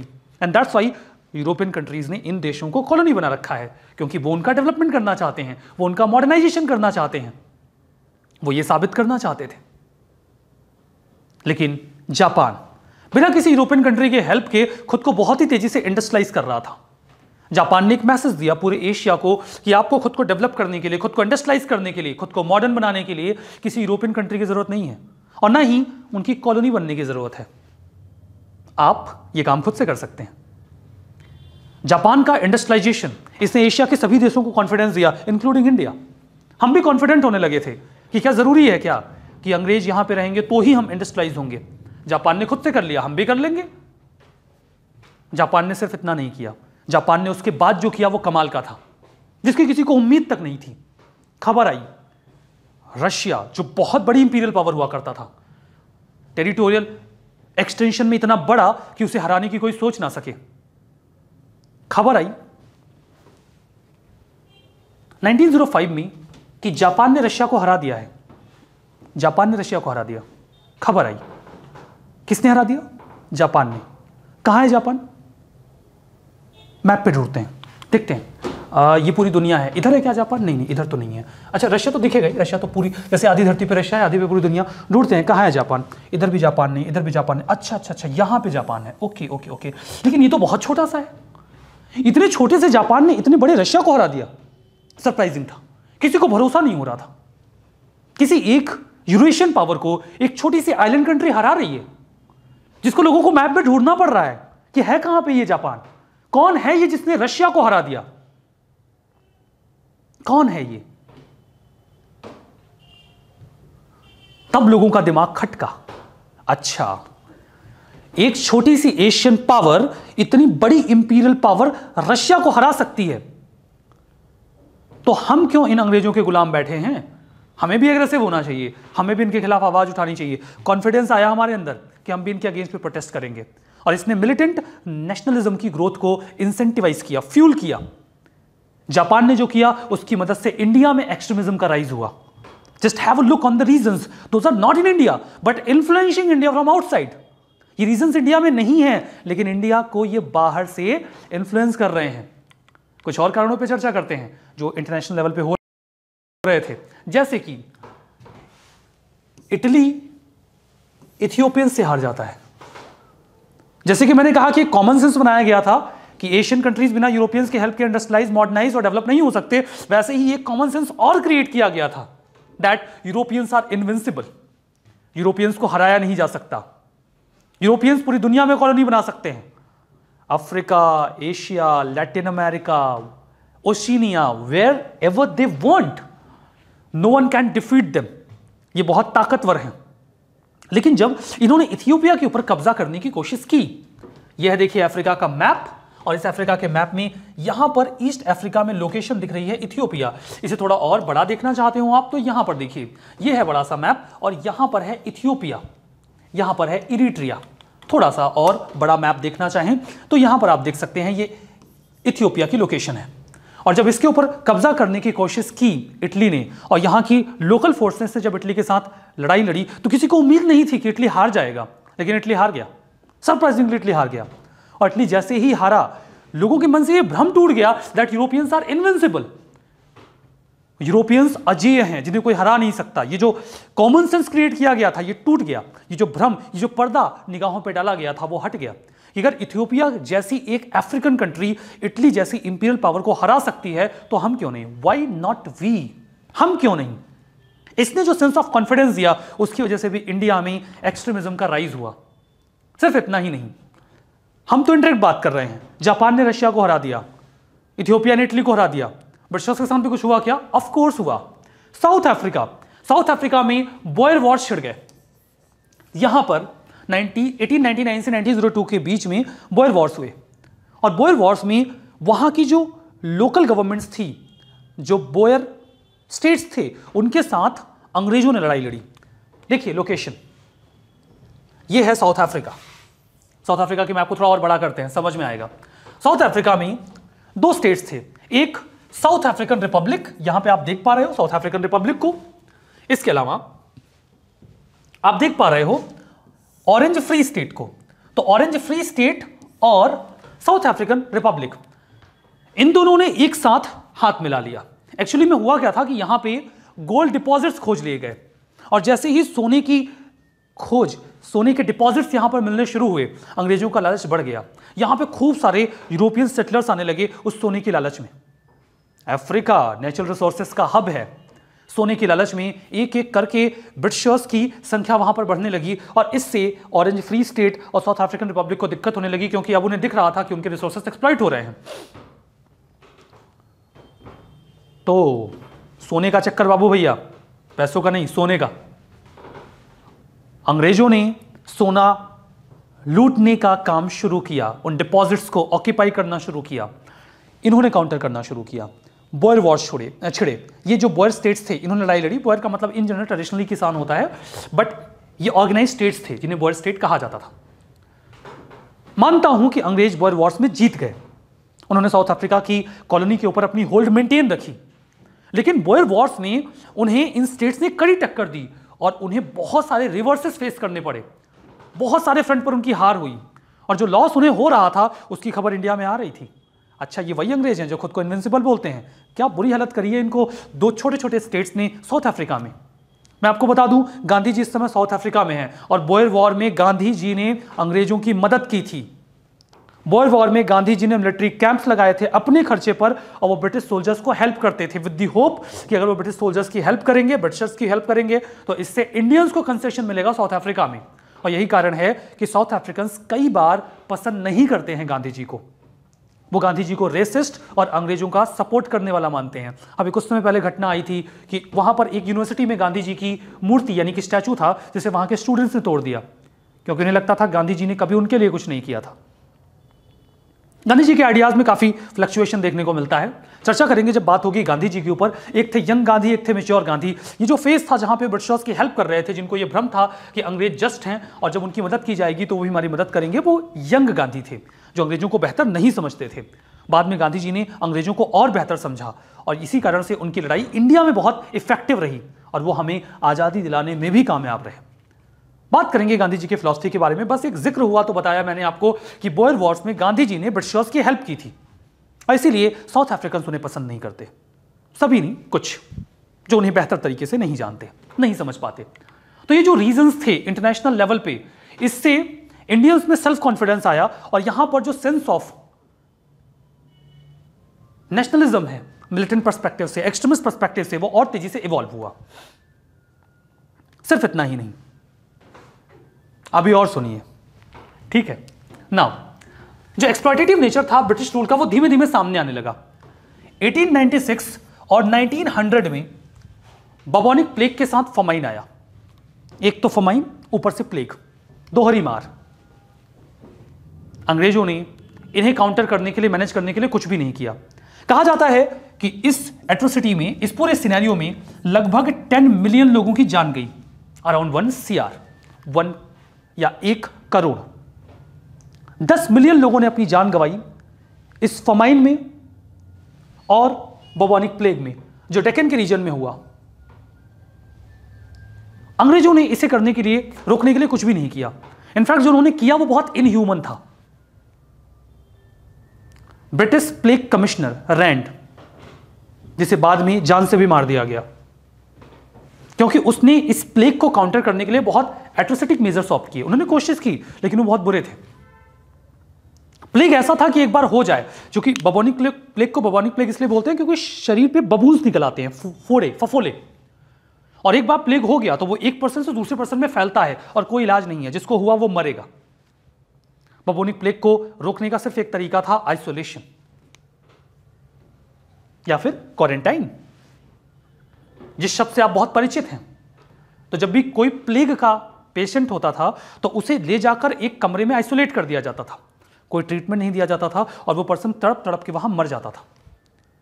आपको याद होगा कि जब कोविड का इनिशियल फ़ेज़ था और लोगों से कोविड पेशेंट्स को आइसोलेट या क्वारंटाइन करने के लिए कहा जाता था तो लोग बड़ा नर्वस होते थे। और कई बार तो लोग अपनी फैमिली मेंबर्स को घर में छुपा के रखते थे, बिना ये बताए कि वो कोविड के पेशेंट हैं। क्योंकि उन्हें ऐसा लगता था कि जानने के बाद अथॉरिटीज़ उनको हॉस्पिटल में लेके जाएँगी और हॉस्पिटल्स उन्हें अच्छा ट्रीटमेंट नहीं देंगे, क्योंकि बहुत ओवर क्राउडिंग हो गई थी हॉस्पिटल्स में। तो लोग घरों में कोविड पेशेंट्स को छुपा रहे थे ना? कम से कम इस चीज़ से तो आप बिल्कुल समझते हैं। आपने इसको एक्सपीरियंस किया है कुछ समय पहले ही। बिल्कुल वैसा ही बबोनिक प्लेग में हो रहा था। यहाँ तो फिर भी हॉस्पिटल में ले जाने के बाद ट्रीट किया जाता था। हाँ मानते हैं फैसिलिटीज़ थोड़ी वीकन हो गई थी because of the over crowding वहाँ पर तो एक कमरे में छोड़ दिया जाता था मरने के लिए और एक इंसान तड़प तड़प के मरता था। क्या एक माता पिता चाहेंगे कि उनके बबोनिक प्लेग हुए बच्चे को कोई घर के अंदर से घसीट के लेकर जाए और एक कमरे में बंद कर दे और मरने के लिए छोड़ दे? वो घरों में उन्हें छुपाते थे। बचाते बताते ही नहीं थे कि उनके बच्चे को, उनके फैमिली मेंबर को बबोनिक प्लेग हुआ है। अथॉरिटीज घरों के अंदर घुस के सर्च करती थी। और अगर कोई फैमिली मेंबर मिल जाता था तो उसे घसीट कर बाहर लेकर जाया जाता था। एक बीमार आदमी जो शायद मरने वाला है, उसे बहुत इल ट्रीट किया जाता था लोगों से अलग करके ताकि बीमारी फैलने ना पाए। शायद ये बीमारी को रोकने का सिर्फ़ एकमात्र तरीका रहा होगा, लेकिन ये बहुत ही इनह्यूमन था। रैंड ने जो किया, उसके लिए उसे जान से मारा गया। बात करेंगे रेवोल्यूशनरी एक्टिविटीज़ में इसके बारे में। बट इससे उनका ट्रू नेचर समझ में आ गया कि उनके लिए यहाँ पे इंडियंस मेयरली एनिमल्स हैं, जानवर हैं। आपने देखा है बर्ड फ्लू होता है तो क्या करते हैं? बर्ड्स को एक साथ इकट्ठा मार दिया जाता है। सिमिलरली कोई ऐसी इन्फेक्शस डिसीज हो जाए जो एक कैटल से दूसरे कैटल में जा रही हो तो कैटल्स को मार दिया जाता है स्लॉटर कर दिया जाता है। ये जानवरों के साथ आज भी किया जाता है, बुरा लगता है। एक्चुअली में ये इंसानों के साथ किया जाता था ब्रिटिशर्स के द्वारा ये खुद ब्रिटेन में कभी नहीं करते, लेकिन इंडिया में करते थे। ये समझ में आता था कि वो इंडियंस को एनिमल्स की तरह ट्रीट करते हैं। और इसको लेकर जो फीलिंग्स थी इंडियंस में, वो बहुत गुस्से वाली थी, जो दिन ब दिन बढ़ती चली जा रही थी। समझ में आने लगा था कि अगर एक इंडियन गवर्नमेंट होती तो क्या ऐसा करती क्या? क्या ब्रिटिश गवर्नमेंट ब्रिटेन में ऐसा करती है क्या? नहीं करती। लेकिन इंडिया में ऐसा करते हैं। अगर इंडिया में कोई हमारी सरकार होती तो ऐसा करती। नहीं करती। कोविड हुआ। गवर्नमेंट ने बेहतर ट्रीट किया। कोशिश की, सिंपथी के साथ चीज़ों को हैंडल किया गया। कोई फॉरेन गवर्नमेंट ऐसे ट्रीट नहीं करेगी हमें। हमें महसूस हुआ, हमारी सरकार होनी चाहिए। और अल्टीमेटली, मॉडरेट्स को हम कितना ही क्रिटिसाइज क्यों ना कर लें। मॉडरेट्स ने हमें पॉलिटिकल लीडरशिप दी। वही लीडरशिप जो बेस बना आने वाले समय में इन एक्सट्रीमिस्ट के लिए, जो बात मैंने आपसे पहले कही थी। Extremist were extremist because moderates were moderates moderates moderate थे, इसलिए एक्सट्रीमिस्ट एक्सट्रीमिस्ट हो पाए। नहीं तो उनके एक्सट्रीमिस्ट होने के लिए कोई कांग्रेस ही नहीं होती। तो उनका भी एक बड़ा रोल रहा मिलिटेंट नेशनलिज्म की ग्रोथ में। तो ये सारी चीज़ें तो मैंने आपको बता दी। जैसे कि मैंने आपको बताया कि मिलिटेंट नेशनलिज्म की राइज में एक बहुत बड़ा कारण रहा बंगाल का पार्टीशन जो करजन ने किया। ये सबसे बड़ा कारण था। और मैंने आपसे भी कहा था कि मिलिटेंट नेशनलिज्म के फ़ेज़ में दो सबसे महत्वपूर्ण घटनाएँ घटित हुई, जो आपको ज़रूर जाननी चाहिए। और यहाँ से क्वेश्चंस भी आते हैं। एक तो बंगाल का पार्टीशन और दूसरा स्वदेशी बाइकॉट मूवमेंट बंगाल का पार्टीशन जो सबसे इमीडिएट इंसिडेंट बना, जिसने भारत में पहला मास मूवमेंट शुरू किया, स्वदेशी बाइकॉट क्या था यह बंगाल का partition partition of Bengal Bengal का पार्टीशन इसमें हम बेसिकली चार बात देखने वाले हैं। इंट्रोडक्शन क्यों हुआ पार्टीशन क्या किया गया इसमें? रिज़ल्ट क्या निकला? Let's have a look Lord Curzon ने अनाउंस किया कि 16 अक्टूबर 1905 को बंगाल को दो हिस्सों में डिवाइड कर दिया जाएगा। जो बंगाल के दो हिस्से किए जाएँगे, उनमें एक हिस्सा होगा जिसका नाम रहेगा ईस्टर्न बंगाल एंड आसाम इसका नाम था ईस्टर्न बंगाल एंड आसाम और जो दूसरा हिस्सा होगा जो बंगाल का वेस्टर्न पार्ट होगा, उसका सिंपल सा नाम होगा बंगाल। कुछ भी और नहीं, जस्ट बंगाल। यहाँ पे जो लाइट कलर आपको दिख रहा है, लाइट ग्रीन कलर, ये कुछ प्रिंसली स्टेट्स हैं जो कंट्रोल में नहीं थे। मतलब वो ब्रिटिश गवर्नमेंट एडमिनिस्टर नहीं करती थी। जैसा कि कलर डिनोट कर रहा है, जैसा कि कलर में साफ़ साफ़ डिनोट किया गया है कि जो ग्रीन कलर का हिस्सा है, जो ईस्ट का पार्ट है ईस्टर्न बंगाल एंड आसाम, ये मुस्लिम मेजोरिटी प्रोविंस के तौर पे क्रिएट किया गया। वहीं जो वेस्टर्न पार्ट है, जिसका सीधा सा नाम बंगाल रखा गया, ये हिंदू मेजोरिटी प्रोविंस के तौर पे कन्वर्ट किया गया। जो हिंदू मेजोरिटी प्रोविंस के तौर पे कन्वर्ट किया गया। मतलब बंगाल का जो डिवीज़न किया गया, उसके पीछे रीजन बताया गया कि बंगाल बहुत बड़ा है। लेकिन डिवीज़न जो किया गया, वो आपको साफ़ दिख रहा है। हिंदूज को मुस्लिम से अलग किया गया बंगाल में। तो डिवीज़न में ये तो काम हुआ। बंगाल का पार्टीशन क्यों हुआ? कुछ बेसिक बातें जान लीजिए, फिर रीजन भी समझिए। ब्रिटिश गवर्नमेंट ने अनाउंस किया कि बंगाल का डिवीज़न किया जाएगा 1903 में। इनफैक्ट इसके 20 साल पहले से ये बात चलती आ रही थी। बंगाल का डिवीज़न एडमिनिस्ट्रेटिव रीजन से हुआ। ये बात ऐसी नहीं कि कर्जन ने नहीं करी थी। ये बात तो 20 साल पहले से चल रही थी कि बंगाल बहुत बड़ा है। क्योंकि उस समय का जो बंगाल था, उसमें प्रेजेंट का बिहार, उड़ीसा, आसाम और बांग्लादेश सब हुआ करता था। बहुत बड़ा प्रोविंस था। इसकी जो पॉपुलेशन थी, वो उस समय जो ब्रिटिश इंडिया की टोटल पॉपुलेशन थी, उसकी वन फोर्थ बंगाल में रहती थी। बंगाल इतना बड़ा था, उसे एडमिनिस्टर करने में ऑफकोर्स प्रॉब्लम थी। डिवीज़न के लिए रीजन भी यही बताया गया, लेकिन डिवीज़न हुआ कैसे था दैट वॉज़ इंपॉर्टेंट तो 1903 में यह हुआ कि बंगाल को डिवाइड करेंगे, और पार्टीशन को फाइनली अक्टूबर 1905 में इंप्लीमेंट कर दिया गया। मॉडरेट्स ने इसके अगेंस्ट में एंटी पार्टीशन कैंपेन शुरू किया। और जो न्यूज़पेपर थे, जो इस पूरे बंगाल के पार्टीशन को काउंटर करने के लिए पब्लिकेशंस छाप रहे थे, उनमें प्रोमिनेंट थे हितवादी संजीवनी और बंगाली। हितवादी संजीवनी और बंगाली, ये बहुत ही प्रोमिनेंट न्यूज़पेपर थे जो एसोसिएटेड थे पार्टीशन ऑफ़ बंगाल से। ब्रिटिश ऑफिशियल्स ने जो ऑफिशियल रीजन बताया, वो ये था कि बंगाल की पॉपुलेशन और एरिया बहुत ज़्यादा है। उस समय जो एरिया था, उसके अलावा जो पॉपुलेशन थी, वो 78 मिलियन थी। एरिया तो मैंने आपको बताया, बंगाल, बिहार, उड़ीसा, आसाम और बांग्लादेश, सब मिला के उस समय का बंगाल था तो एरिया तो आपको समझ में आ रहा है। और पॉपुलेशन 78 मिलियन इतनी बड़ी टेरिटरी को गवर्न करना मुश्किल था। इसीलिए उन्होंने बोला कि हम बंगाल का पार्टीशन करेंगे। बंगाल का पार्टीशन अगर एडमिनिस्ट्रेशन के बेसिस पे हो रहा था तो इसमें समस्या नहीं थी। आज भी हमने स्टेट्स को डिवाइड किया है और इतना बड़ा स्टेट आज भी एडमिनिस्टर करने में प्रॉब्लम होगी। लेकिन डिवीज़न करने का इंटेंशन क्या है? दैट मैटर्स ये ऑफिशियल रीजन बताया गया था। रियल रीजन ये था कि बंगाल नेशनलिस्ट एक्टिविटीज़ का सेंटर था बिकॉज़ बंगाल प्रॉस्परस था। बंगाल प्रॉस्परस था। आपको मैं कॉमन सी बात बताता हूँ। किसी भी जगह पे नेशनलिज्म तब अराइज होता है जब वहाँ के लोग प्रॉस्परस हों। आर्ट नेशनलिज्म ये खाली पेट नहीं डेवलप होता। एक डेली वेज लेबरर जो दिन में आठ घंटे काम करता है और फिर अपने घर पे पहुँचता है, वो कुछ आलू, प्याज और आटा अपने घर पे लेकर जाएगा। वो पकाएगा खाना और खाकर आराम करेगा ताकि अगले दिन वो फिर से काम कर सके। वो रात को बैठकर पेंटिंग नहीं करेगा। वो पोइट्री नहीं लिखेगा। वो साइंस के बारे में नहीं सोचेगा। उसे सोचना है कि कल क्या करना है। कल काम मिलेगा या नहीं मिलेगा। आपने कई सारी जगहों पर लेबर या लेबरर चौराहास देखे होंगे, जहाँ पर सुबह सात बजे लेबरर्स इकट्ठा हो जाते हैं। हर तरीके के लेबरर्स और जिन्हें लेबरर्स की ज़रूरत है, वो वहाँ पर जाकर इकट्ठा होते हैं और निगोशिएट करके उन्हें काम पर लेकर जाते हैं। इस बात की कोई गारंटी नहीं होती कि कल उस लेबर को काम मिलेगा। वो चौराहे पर जाएगा और खड़ा रहेगा। सुबह सात बजे से दस बजे तक। और उसे लेने कोई नहीं आएगा। उस दिन उसे काम नहीं मिला है। और अब उसे ये सोचना है कि शाम को वो क्या खाएगा। ये कंडीशन आज भी है। इट्स नो डिफरेंट और ये पहले और भी खराब थी। ऐसे लेबर चौराहाज आपको बहुत मिलेंगे, जहाँ पर हर दिन लेबर इकट्ठा होते हैं और काम सबको नहीं मिलता। वो लेबर वो मजदूर, जो आज काम करके, रात को खाने की व्यवस्था करके आया है, उसे कल के काम का पता नहीं है कि कल वो तीन घंटे चौराहे पे खड़ा रहेगा और उसे कोई काम देने वाला मिलेगा कि नहीं मिलेगा। वो पोएट्री नहीं लिखेगा। वो पेंटिंग नहीं बनाएगा। वो डांस के स्टेप्स नहीं सीखेगा। ये सब कौन करता है? वो नहीं सोचेगा कि देश को आज़ाद कैसे करवाना है। उसके अंदर नेशनलिज्म नहीं अराइज होगा। इसके बारे में वो सोचेगा, जिसके पास इनफ इनकम है,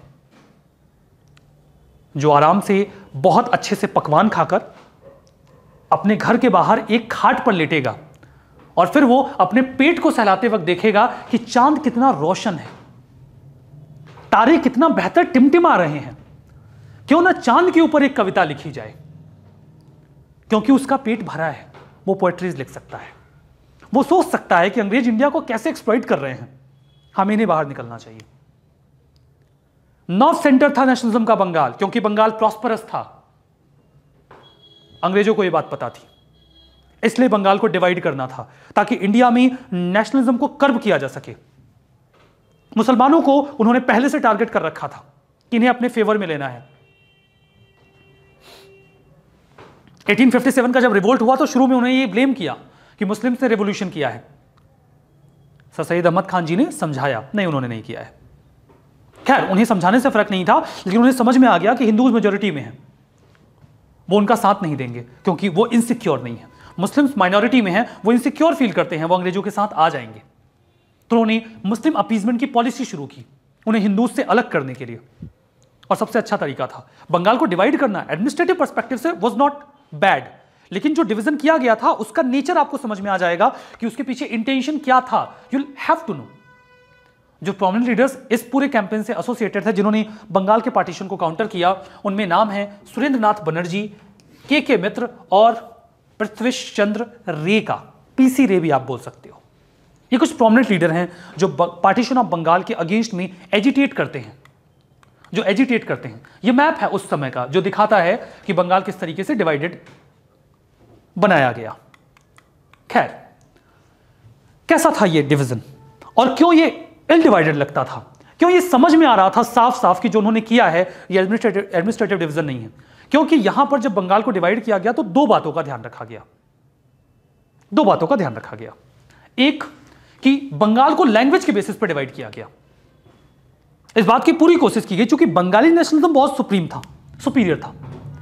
जो बंगाली पॉपुलेशन थी, वो ज़्यादा नेशनलिस्ट एक्टिविटीज़ में एक्टिव थी। वो पढ़े लिखे थे एजुकेटेड थे, समझदार थे, ज़्यादा इनलाइटेंड थे। उन्हें डिवाइड करना था। बंगाल में बंगालीज को माइनॉरिटी बनाया गया। जो वेस्टर्न पार्ट था, जो डिवीज़न हुआ, उस डिवीज़न में जो वेस्टर्न पार्ट है, ये, इसे नाम दिया गया था बंगाल। इसे नाम दिया गया था बंगाल और इसे नाम दिया गया था ईस्टर्न बंगाल और आसाम इसे नाम दिया गया था ईस्टर्न बंगाल एंड आसाम ठीक है? इसकी कैपिटल बनाई गई थी ढाका और इसकी कैपिटल बनाई गई थी कलकत्ता, कोलकाता, ठीक है? तो जो बंगाल का ये रीजन है, यहाँ पे बंगालीज को माइनॉरिटी बनाया गया। बंगाली स्पीकिंग पॉपुलेशन को यहाँ पे अंग्रेज़ों ने माइनॉरिटी बना दिया। और माइनॉरिटी बनाने के लिए क्या किया गया? उड़ीसा ऐड किया गया, उड़ीसा के कुछ हिस्से में ऐड किए गए। रिज़ल्ट क्या निकला? रिज़ल्ट ये निकला कि जो टोटल बंगाल की पॉपुलेशन थी उस समय, उसमें 37 मिलियन हिंदी और उड़िया स्पीकिंग लोग थे और केवल 17 मिलियन बंगाली स्पीकिंग लोग थे। बंगाल में बंगाली स्पीकिंग लोग माइनॉरिटी। तो सबसे पहले तो बंगाली नेशनलिज्म को रिड्यूस करने के लिए उन्होंने बंगाल में ही बंगाली स्पीकिंग लोगों को माइनॉरिटी किया। ये डिवीज़न ऐसा टेक्टिकल था।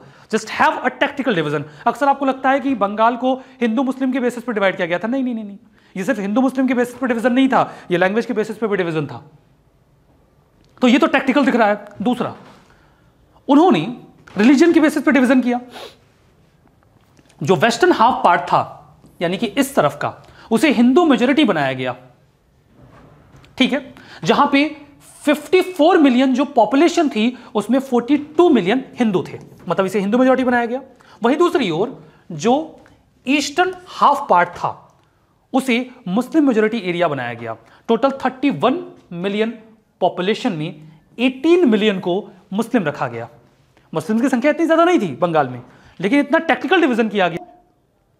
ईस्टर्न पार्ट था, उसे मुस्लिम मेजोरिटी जो ईस्टर्न पार्ट था, इसे मुस्लिम मेजोरिटी और जो वेस्टर्न पार्ट था, इसे हिंदू मेजोरिटी बनाया गया। हाईली टेक्टिकल डिवीज़न सबसे पहले तो बंगालीज को माइनॉरिटी में किया गया और दूसरा हिंदू और मुस्लिम्स को डिवाइड किया गया। यह था बंगाल का पार्टीशन इसके ऊपर कितना ही एडमिनिस्ट्रेटिव कन्वीनियंस का नाम दे दिया जाए, दिख रहा है ये डिवीज़न क्यों हुआ है? साफ़ साफ़ दिख रहा है ये डिवीज़न रिज़ल्ट क्या निकला? मुस्लिम्स को अपीस करने के लिए, वो करने के लिए उसने ढाका को कैपिटल बनाया। और ये भी बोला कि वहाँ पर एक यूनिवर्सिटी स्टैब्लिश की जाएगी। ये होगा एक नया मुस्लिम मेजोरिटी प्रोविंस मुस्लिम्स खुश थे। उन्हें कुछ तो मिला।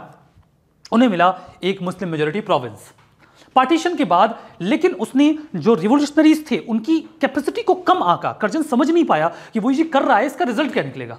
उसने सोचा कि वो कुछ भी कर सकता है। कई सारे कारण बताए जाते हैं इसके। एक तो एडमिनिस्ट्रेटिव कन्वीनियंस दूसरा उसने लैंग्वेज के बेसिस पर डिवीज़न किया ताकि बंगाली नेशनलिज्म को क्रश किया जा सके।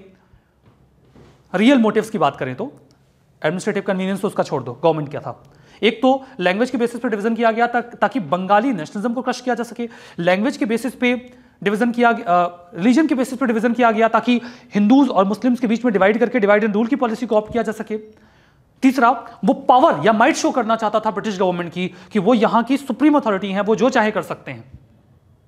और वो कंट्रोल टाइटन करना चाहता था प्रोविंसेस के ऊपर। ताकि जो सेंट्रल अथॉरिटी है वो जो जैसे चाहे करवा सके। ये तो प्लान बनाया गया। लेकिन उसने कम आका नेशनलिस्ट की कैपेसिटी को। पार्टीशन के बाद रेवोल्यूशनरी एक्टिविटीज़ बहुत तेज हो गई। इवन एक्सट्रीमिस्ट एक नए खेमे का इमरजेंस हुआ, जिन्होंने एक रेवोल्यूशन छेड़ दिया, एक आंदोलन छेड़ दिया। That was swadeshi movement it's it was kind of movement एक स्वदेशी मूवमेंट शुरू कर दिया गया। इस पूरे पार्टीशन ने एक सेंस ऑफ़ यूनिटी क्रिएट कर दी इंडियंस के मन में। लोगों को समझ में आने लगा कि वो एक हैं, और यहाँ कोई बाहर से आया है जो उनको डिवाइड कर रहा है। पार्टीशन एक्चुअली एक कॉज क्रिएट कर देता है, जहाँ पर नेशनलिस्ट जो काफ़ी लंबे समय से एक मौके की तलाश में थे ब्रिटिश गवर्नमेंट के अगेंस्ट में एजिटेट करने के लिए वो मौका बंगाल के पार्टीशन ने दिया। तो बंगाल का पार्टीशन उस समय नेशनलिस्ट एक्टिविटीज़ के सेंटर में एक बड़ा इंसिडेंट बन गया, जिसको बेसिस बनाकर भारत में पहला बड़ा और मास मूवमेंट शुरू किया गया। और ये जो पहला और बड़ा मास मूवमेंट शुरू होता है, जो पहला और बड़ा मास मूवमेंट शुरू होता है यह था swadeshi and boycott movement swadeshi and boycott movement जो पार्टीशन ऑफ़ बंगाल का रिज़ल्ट था। यह एक मास मूवमेंट था, जिसने बंगाल के पार्टीशन को अपोज किया और धीमे धीमे यह पूरे देश में फैल गया। इसकी शुरुआत हुई बंगाल के साथ, लेकिन धीमे धीमे यह आगे बढ़ा। स्वदेशी मूवमेंट को शुरुआत में कांग्रेस ने ऑप्ट नहीं किया, बल्कि कुछ इंडिपेंडेंट लीडर्स ने बंगाल के पार्टीशन के अगेंस्ट में इस मूवमेंट की शुरुआत की। इनिशियली ये एक एंटी पार्टीशन मूवमेंट था। बाद में जब इसमें स्वदेशी के एलिमेंट्स आए, तब ये स्वदेशी मूवमेंट बना। स्वदेशी के एलिमेंट का मतलब क्या है? कि जो फॉरेन मेड क्लोथ्स थे, कपड़े थे, उन्हें जलाया जाने लगा और ज़ोर दिया गया स्वदेशी प्रोडक्ट्स के ऊपर, स्वदेशी एजुकेशन के ऊपर। तो जो स्वदेशी का एलिमेंट इस एंटी पार्टीशन मूवमेंट में इंक्लूड किया जाता है, तब ये एंटी पार्टीशन मूवमेंट बनता है, स्वदेशी मूवमेंट तो शुरुआत स्वदेशी एंड बाइकआउट मूवमेंट की होती है एक एंटी पार्टीशन मूवमेंट के तौर पर। और इसे कुछ इंडिपेंडेंट लीडर्स ने फॉर्मली 7 अगस्त 1905 को एक प्रोक्लेमेशन के ज़रिए शुरू किया। वो प्रोक्लेमेशन जो एक रेजोल्यूशन के फॉर्म में आई कलकत्ता टाउन हॉल से। ये हुआ कि हम इस पार्टीशन के अगेंस्ट में पैन इंडिया लेवल पे एजुटेशन शुरू करेंगे। ठीक है? पार्टीशन फॉर्मली होता है 16 अगस्त 1905 को। और जब ये पार्टीशन 16 अगस्त 1905 को होता है तो इंडिया में day of mourning mourn M O U R N observe किया गया। मौन हम तब करते हैं जब कोई मर जाता है और हम बहुत दुखी होते हैं। तब हम मौन करते हैं। बंगाल के डिवीज़न को वैसे ही दुख वाला सिनेरियो माना गया जैसे किसी की डेथ हो गई हो। सभी लोग दुखी थे। लोगों ने एक दूसरे के हाथों पर राखियाँ बांधी। ये डिनोट करते हुए कि वो एक हैं, वो अलग अलग नहीं हैं। लोगों ने फास्ट रखा। वो बिना किसी चप्पल के नंगे पाँव, गंगा या कोई भी रिवर जो नज़दीक में थी, वहाँ पर गए। उन्होंने वहाँ पर स्नान किया, वो नहाए और प्रोटेस्ट करना शुरू किया। इस दिन 16 अक्टूबर 1905 को। और इसके बाद प्रोटेस्ट तो पहले शुरू हो गया था, लेकिन ये दिन जो था, उसने उस प्रोटेस्ट को बहुत प्रोमिनेंट बना दिया। वंदे मातरम एक पॉपुलर स्लोगन बन गया लोग सड़कों पर, वंदे मातरम गाते हुए निकल पड़े। ये कुछ इमेजेस हैं जो दिखाती हैं कि किस तरीके से स्वदेशी बाइकआउट मूवमेंट की शुरुआत हुई। लोग सड़कों पर उतर आए। फॉरेन क्लोथ और फॉरेन प्रोडक्ट्स को इकट्ठा किया जाने लगा और उन्हें जला दिया जाता था। सभी लोग अपने घरों में से फॉरेन चीज़ें निकालते थे। ना एग्जिस्ट ना केवल एग्जिस्टिंग चीज़ों को जलाया जाने लगा, बल्कि जो नए प्रोडक्ट्स थे, उनको ब्रिटिश मेड या यूरोपियन मेड खरीदना भी बंद कर दिया गया। हमने केवल कमिटमेंट दिखाई कि हम स्वदेशी प्रोडक्ट्स को ही खरीदेंगे। क्या रीजन्स रहे और कहाँ पे किसने इसको लीड किया? पूना और बॉम्बे। यहाँ पर बाल गंगाधर तिलक ने स्वदेशी और बाइकआउट मूवमेंट को लीड किया। पंजाब में इसे लीड किया लाला लाजपत राय और अजीत सिंह जी ने। अजीत सिंह, भगत सिंह जी के चाचा थे। ठीक है, उन्होंने इसे वहाँ पे लीड किया। दिल्ली में सैयद हैदर रजा जी ने इसे लीड किया और मद्रास में चिदम्बरम पिल्लई। ये कुछ प्रोमिनेंट लीडर्स थे जिन्होंने अलग अलग प्रोविंसेस में स्वदेशी और बाइकआउट मूवमेंट को आगे बढ़ाया। यहाँ पर इस इमेज में तीन प्रोमिनेंट एक्सट्रीमिस्ट लीडर्स को दिखाया गया है, लाल, बाल और पाल। लाला लाजपत राय, जिसे आप प्यार से लाला जी के नाम से भी पुकारते हैं जिन्हें, बाल गंगाधर तिलक और बिपिन चंद्र पाल। इसके अलावा अरविंदो घोष भी एक प्रोमिनेंट नाम है एक्सट्रीमिस्ट लीडर्स में। उन्हें भी आपको याद रखना चाहिए, जानना चाहिए। यहाँ पे बात की गई है कुछ कॉन्फ्रेंसेस के बारे में और उसने कैसे यहाँ पर इंपैक्ट क्रिएट किया उसके बारे में। और जो डिवीज़न हुआ एक्सट्रीमिस्ट और मॉडरेट्स के बीच में, उसके बारे में भी। यहाँ पर समझिए 1905 में बनारस में होता है सेशन। और गोखले जी बनाए जाते हैं कांग्रेस के प्रेसिडेंट। जब भी कांग्रेस के प्रेसिडेंट बने तो इन्होंने जो बंगाल का पार्टीशन है उसे कंडेम किया, और जो एंटी पार्टीशन और स्वदेशी मूवमेंट चल रहा था, उसको सपोर्ट किया। हाँ, अभी कांग्रेस ने फॉर्मली इस पूरे एजिटेशन को, इस पूरे मूवमेंट को होल्ड नहीं किया था। मॉडरेट्स और एक्सट्रीमिस्ट यहाँ पर डिफर करने लगे। डिफर करने का जो मेन इशू था वो ये था क्योंकि एक्सट्रीमिस्ट चाहते थे कि ये पूरा मूवमेंट पैन इंडिया लेवल पे जाए। और हो सकता है कि इसकी मदद से हमें आज़ादी मिले। वहीं दूसरी ओर मॉडरेट्स को ऐसा लगता था कि इस मूवमेंट को पैन इंडिया लेवल पे ले जाना अभी सही नहीं है। क्योंकि मासेस आउटसाइड ऑफ़ बंगाल और not as concern about the partition of Bengal as people are in Bengal it's जो लोग बंगाल के बाहर हैं, वो बंगाल के पार्टीशन को लेकर उतना कंसर्न नहीं जितना कि बंगाल के लोग हैं। इसीलिए बाहर ले जाने का इस मूवमेंट को कोई मतलब नहीं। इस बात को लेकर डिफरेंस रहा। डिफरेंसेस बढ़ने लगे। और यहीं पर वो समय था, इस सेशन में, जब उनकी बातों को नहीं माना गया एक्सट्रीमिस्ट के, तब एक्सट्रीमिस्ट फ्रैक्शन अलग होने लगा। समझ में आने लगा कि कुछ लीडर्स हैं, जिनका ओपिनियन अलग है, जिनका काम करने का तरीका अलग है। तो 1905 ऑनवर्ड्स जो एक्सट्रीमिस्ट फ्रैक्शन है, वो विजिबल हो गया। काम करने का तरीका अलग। एग्रेसिवनेस एटीट्यूड वो तो पहले से अलग था। लेकिन उनका तरीका अलग विजिबल होने लगा। 1906 में एक बार फिर से विवाद खड़ा हुआ, जब सेशन कैलकटा में हो रहा था। एक्सट्रीमिस्ट खेमा अब एक्टिव था। एक्सट्रीमिस्ट खेमे ने लीड करना शुरू कर दिया था स्वदेशी और बाइकआउट मूवमेंट को। वो ताकतवर कंडीशन में थे। वो चाहते थे कि कांग्रेस में उनका प्रेसिडेंट हो। उन्हें पता था कि अगर कांग्रेस में उनका प्रेसिडेंट होगा तो उनकी बात मानी जाएगी। वो वैसे मूवमेंट चला पाएँगे जैसे वो चाहते हैं। उन्होंने नाम प्रपोज किया। बाल गंगाधर तिलक या लाला लाजपत राय। आप इनमें से किसी एक को कांग्रेस का प्रेसिडेंट बनाइए। मॉडरेट्स परेशान थे। दोनों लीडर्स हाईली पॉपुलर थे। इन्हें मना करना मुश्किल लग रहा था। आखिर कौन ऐसा था जो इन्हें रोक सकता था? वो नहीं चाहते थे कि एक्सट्रीमिस्ट लोगों को लीडरशिप मिले कांग्रेस की, क्योंकि उसके नेगेटिव आउटकम्स होते। मॉडरेट्स ने अपनी ओर से नाम प्रपोज किया दादा भाई नौरोजी का। The grand old man of India, highly respectable. कुछ लोग होते हैं ना जिनको सब रेस्पेक्ट करते हैं। दादा भाई नौरोजी, जैसे कुछ नाम आप जानते हैं, अटल बिहारी वाजपेयी जी, अपोजिशन के लीडर्स भी उनको बहुत रेस्पेक्ट देते हैं। रेयरली उन्हें नापसंद करने वाला कोई आपको मिलेगा। डॉक्टर एपीजे अब्दुल कलाम जी, हमारे फॉर्मर प्रेसिडेंट और बहुत ही प्रीमियर साइंटिस्ट इंडिया में मुश्किल से आपको कोई मिलेगा जो उनसे नफरत करता हो। नहीं मिलेगा। अगर कोई मिलता है तो उसके साथ दिक्कत है। उसका अपना खुद का मेंटल सेटअप ठीक नहीं है, हम कह सकते हैं। कोई नहीं मिलेगा आपको जो एपीजे अब्दुल कलाम को हेट करता हो। आपको रेयरली कोई मिलेगा जो अटल बिहारी वाजपेयी जी को हेट करता हो। ये कुछ ऐसी पर्सनैलिटीज होती हैं जिन्हें नफरत करने का मन ही नहीं करेगा आपका मतलब ही नहीं है। बिल्कुल वैसी ही एक पर्सनैलिटी थी दादा भाई नरोजी। इन्होंने इंडिया के लिए बहुत कुछ किया था। हाईली रिस्पेक्टेबल थे। सब उनकी रेस्पेक्ट करते थे। क्या मॉडरेट क्या एक्सट्रीमिस्ट क्या रिवोल्यूशनरी क्या कॉमन लोग?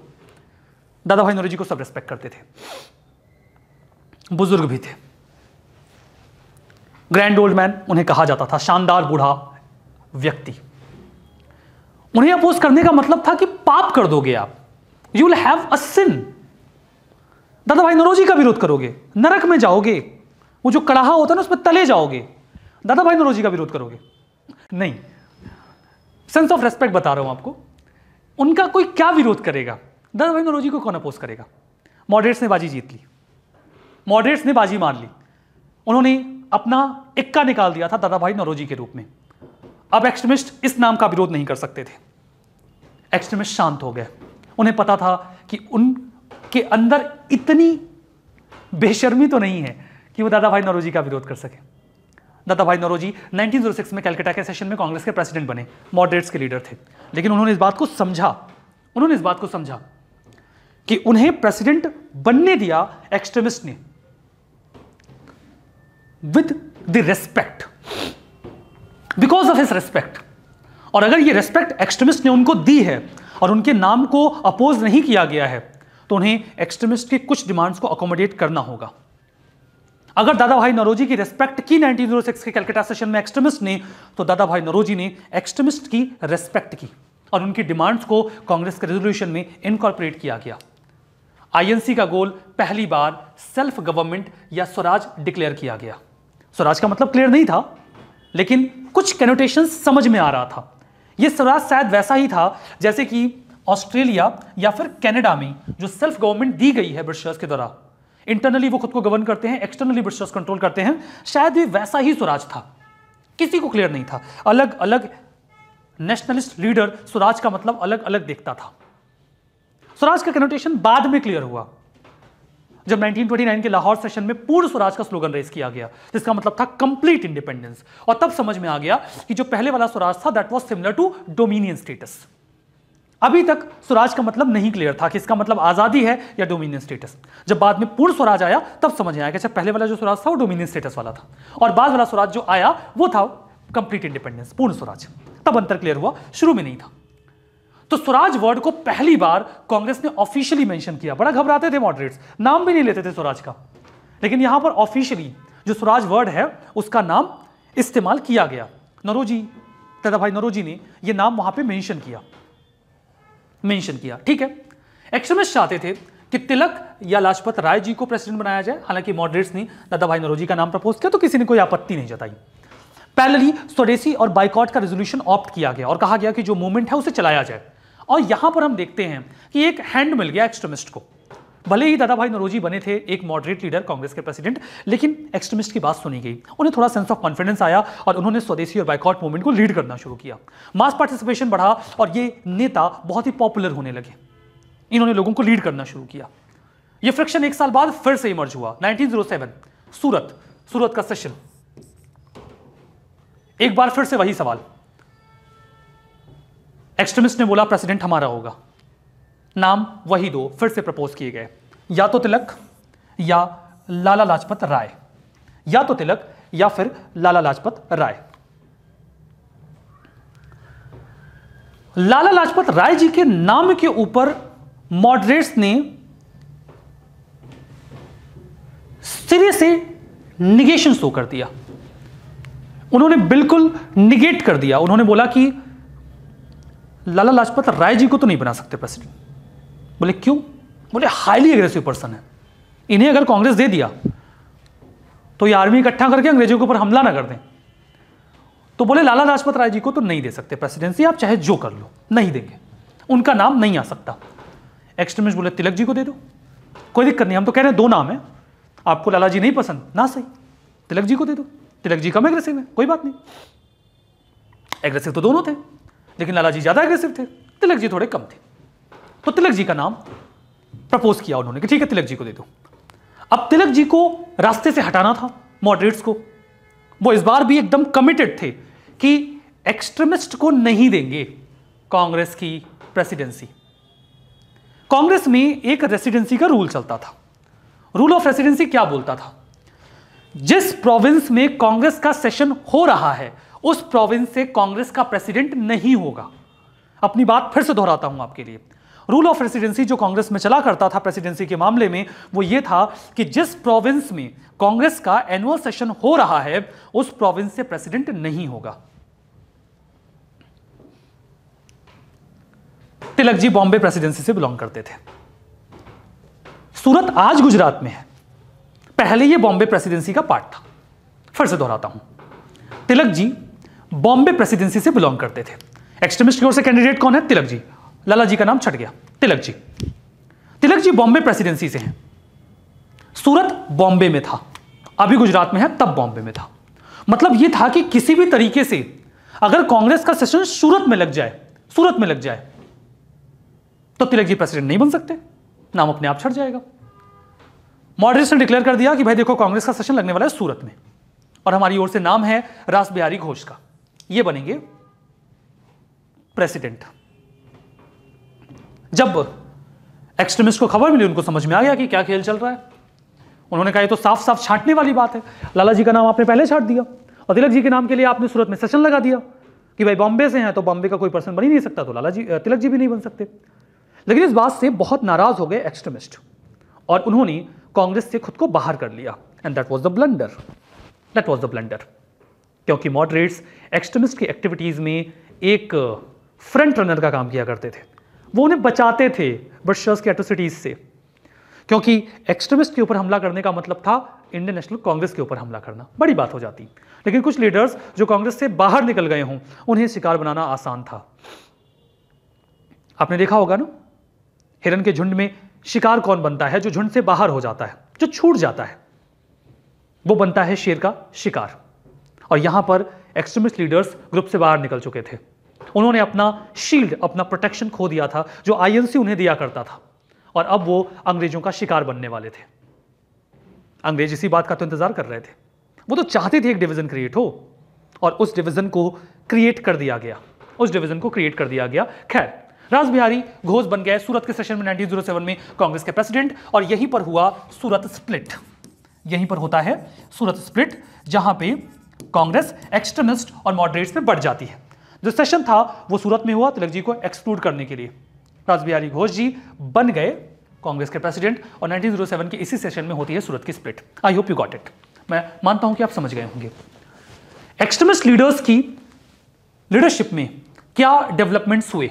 What were the developments under extremist leadership जो एक्चुअली में आपको स्वदेशी और बाइकॉट मूवमेंट में देखने को मिलता है। That you can see in swadeshi and boycott movement जो आप स्वदेशी और बाइकॉट मूवमेंट में देख सकते हो। स्ट्रगल का एक नया फॉर्म देखने को मिलता है इंट्रोड्यूस किया गया, जहाँ पे फॉरेन गुड्स बाइकआउट किए गए पब्लिक मीटिंग ऑर्गेनाइज की गई और प्रोसेशंस किए गए। इसके अलावा ट्रेडिशनल फेस्टिवल्स और मिलास का सहारा लिया गया स्वदेशी प्रोपोगेंडा रन करने के लिए। जैसे तिलक जी ने गणपति महोत्सव और शिवाजी फेस्टिवल ऑर्गेनाइज किए। क्योंकि पॉलिटिकल गैदरिंग अलाउ नहीं थी ना। पॉलिटिकल गैदरिंग अलाउ नहीं थी। रिलीजियस गैदरिंग हो सकती थी। गणपति महोत्सव पहले भी मनाया जाता था, लेकिन लिमिटेड स्केल पर, लोग घरों में पड़ोसियों के साथ मिलकर मना लेते थे। इसे बड़े स्केल पर हज़ारों लोगों की भीड़ के साथ मनाया जाने लगा। शिवाजी महोत्सव, शिवाजी को जो मराठा पॉपुलेशन है, वो अपना प्राइड मानती है, अपना सिंबल मानती है। इनफैक्ट पूरा देश छत्रपति शिवाजी महाराज को अपना हीरो मानता है। छत्रपति शिवाजी महाराज जो लोगों के सिंबल हुआ करते थे, जो हीरो हुआ करते थे, उन्हें सिंबलाइज करते हुए शिवाजी फेस्टिवल या शिवाजी महोत्सव शुरू किया गया। और लोग इकट्ठा हुए। ये एक रिलीजियस गैदरिंग थी। It was not a political gathering Chhatrapati Shivaji Maharaj को सेलिब्रेट करना मतलब एक हिस्टोरिकल लीडर को सेलिब्रेट करना। इसका नेशनल मूवमेंट से कुछ खास लेना देना नहीं था, लेकिन ये लोगों को गैदर होने का मौका देता था। तो इनका सहारा लिया गया लोगों को इकट्ठा करने के लिए। सेल्फ रिलायंस विलेजेस का रीजनरेशन इकोनॉमिक डेवलपमेंट इस पर फोकस किया गया। स्वदेशी का जो प्रोग्राम था, उसके तहत हमने बंगाल नेशनल कॉलेज स्टैब्लिश किया। National council of education, Bengal institute of technology BIT ये सब स्टैब्लिश किए गए नेशनलिस्ट एजुकेशन देने के लिए। क्योंकि जब बाइकआउट किया गया तो बोला गया कि अब स्कूल कॉलेज लॉ ऑफ़िस सब छोड़े जाएँगे। एक्सट्रीमिस्ट ने बोला कि अब हम बाइकआउट का ऑप्शन ऑप्ट करेंगे, जहाँ पर ब्रिटिशर्स को बाइकआउट किया जाएगा। हम रेजिस्टेंस शो करेंगे। पैसिव रेजिस्टेंस हम एक्टिवली जाके कुछ नहीं करेंगे, लेकिन जिसमें हम उन्हें सर्व करते हैं सर्विसेज़ देते हैं, वो नहीं देंगे। तो sense of passive resistance start किया गया। स्वदेशी एंटरप्राइज स्टैब्लिश किए गए, जैसे कि textile mill banks swadeshi steam navigation company जिसे वीओ चिदंबरम पिल्लई ने स्टैब्लिश किया ताकि ब्रिटिश नेविगेशन कंपनीज़ को चैलेंज किया जा सके। ये सब कंपनीज़ प्रॉफिट मोटिव से नहीं लगाई जा रही थी। ये कंपनीज़ लगाई जा रही थी नेशनलिस्ट सेंटिमेंट से इंफ्लुएंस होकर। नेशनलिस्ट सेंटिमेंट से ओतप्रोत होकर ये कंपनीज़ लग रही थी। कल्चरल इंपैक्ट रविंद्रनाथ टैगोर के आमार सोनार बांग्ला में देखने को मिलता है। रविंद्रनाथ टैगोर, एकमात्र हिस्टोरिकल पर्सनालिटी जिनके लिखे गए सॉन्ग्स दो देशों के नेशनल एंथम हैं और इनके सॉन्ग्स की कुछ लाइनें आपको श्रीलंका के एंथम में भी मिल जाएँगी। Highly revered personality highly revered personality Subramania Bharati का स्वदेश गीतम, इसने लोगों को इंस्पायर किया। वॉलेंटियर कॉप्स या समितियाँ बनाई गई। जिन्होंने पॉलिटिकल कॉन्शियसनेस जनरेट की, लोगों तक पहुँचे, ये मिले। और उन्होंने बताया कि स्वदेशी और बाइकआउट का मेन एजेंडा क्या है? किस लिए नेशनलिस्ट काम कर रहे हैं? और क्या एक्सपेक्ट किया जाता है मासेस से? कैसा रहा पार्टिसिपेशन स्टूडेंट्स का पार्टिसिपेशन बहुत बड़ी संख्या में रहा बंगाल में, महाराष्ट्र में और साउथ इंडिया में। स्टूडेंट्स का क्या है? बोल तो पढ़ना नहीं है। चलो प्रोटेस्ट करना है। कोई भी ऐसा काम जिसमें पढ़ना ना हो, उसके अलावा कुछ भी करना हो दे विल बी इंटरेस्टेड तो वो जाते हैं प्रोटेस्ट में, बहुत बड़ी संख्या में। आपको नेशनल मूवमेंट में जो भी मास मूवमेंट होंगे, सबका पार्टिसिपेशन ऊपर नीचे होगा स्टूडेंट्स का नहीं। स्टूडेंट्स हमेशा से बैकबोन रहे हैं। और आज भी जब भी कोई बड़ा प्रोटेस्ट होता है, अन्ना हजारे जी का प्रोटेस्ट आपको याद होगा, जो एंटी करप्शन मूवमेंट चला था। उसमें भी देखिए स्टूडेंट्स ने कितनी बड़ी संख्या में पार्टिसिपेट किया था। स्टूडेंट्स वो पहला सेक्शन होता है सोसाइटी का, जो मूवमेंट्स में पार्टिसिपेट करता है। ये डरते नहीं है ना? हाईली एक्टिव होते हैं। और मूवमेंट में जाने के बाद पढ़ना भी नहीं पड़ता है। तो ये बढ़िया ऑप्शन होता है। चलो मूवमेंट में। मुस्लिम्स। ज़्यादातर मुस्लिम्स ने खुद को अलग रखा इस पूरे स्वदेशी बाइकआउट मूवमेंट से। रीज़न भी सलीमुल्ला जो ढाका के थे वो लीड कर रहे थे मुस्लिम्स को। मुस्लिम्स को एक्चुअली में बंगाल के पार्टीशन से फ़ायदा हुआ था। उन्हें एक सेपरेट प्रोविंस मिल रहा था एक सेपरेट यूनिवर्सिटी मिल रही थी। उन्हें क्या पड़ी थी कि वो मूवमेंट चलाएँगे ऐसे पार्टीशन के अगेंस्ट में जिससे उन्हें एक, एक सेपरेट प्रोविंस मिला है। वाई विल दे क्यों करेंगे वो? तो मुस्लिम्स का पार्टिसिपेशन न के बराबर रहा। मोस्टली अपर और मिडिल क्लास मुस्लिम्स इसमें पार्टिसिपेट नहीं करते हैं। मुस्लिम पीजेंट्री का सपोर्ट भी नहीं मिला। ऑल इंडिया मुस्लिम लीग को फाइनली 30 दिसंबर 1906 को फाउंड किया गया एंटी कांग्रेस फ्रंट के तौर पे। शिमला डिपुटेशन मिलने जाता है लॉर्ड मिंटो से, जहाँ पर वो जाके डिमांड करते हैं कि उन्हें एक सेपरेट ऑर्गेनाइजेशन चाहिए। और उन्हें वो separate organisation All India Muslim League के फॉर्म में मिला। ऑल इंडिया मुस्लिम लीग ने उसके बाद काफ़ी एक्टिवली काम किया। 1906 से लेकर 1930 तक इन्होंने अपना मास बेस तैयार किया और 1930 के बाद मुस्लिम लीग एक मास पार्टी बन गई। जिना जो शुरू में कांग्रेस के साथ एसोसिएटेड थे। कांग्रेस से उनकी आइडियोलॉजी डेविएट करने लग गई और वो एक सेपरेट पाकिस्तान के डिमांड पर अड़ने लग गए। और उन्होंने ऐसा समझ के ऑल इंडिया मुस्लिम लीग की लीडरशिप को अवेल कर लिया। जिन्ना की लीडरशिप के बाद मुस्लिम लीग बहुत ताकतवर हो गई और उसने अल्टीमेटली भारत और पाकिस्तान का बंटवारा करवाया। तो मुस्लिम लीग का किस्सा आगे बढ़ा। वुमेन वुमेन ने एक्टिवली पार्टिसिपेट किया। ये पहली बार था जब वुमेन घरों से बाहर निकली। अभी तक मॉडरेट्स कभी भी मास पार्टिसिपेशन को इंकरेज नहीं करते थे। एक्सट्रीमिस्ट ने किया। सबको बुलाया, सब आओ। वुमेन ने जब अपने घरों के कामकाज को छोड़ा और वो सड़कों पे उतरी प्रोसेशन करने के लिए, धरना प्रदर्शन करने के लिए, उनके अंदर कॉन्फिडेंस जनरेट हुआ। और उसके बाद आप देखेंगे लगभग हर मास मूवमेंट में वुमेन का पार्टिसिपेशन सिर्फ़ बढ़ता गया है।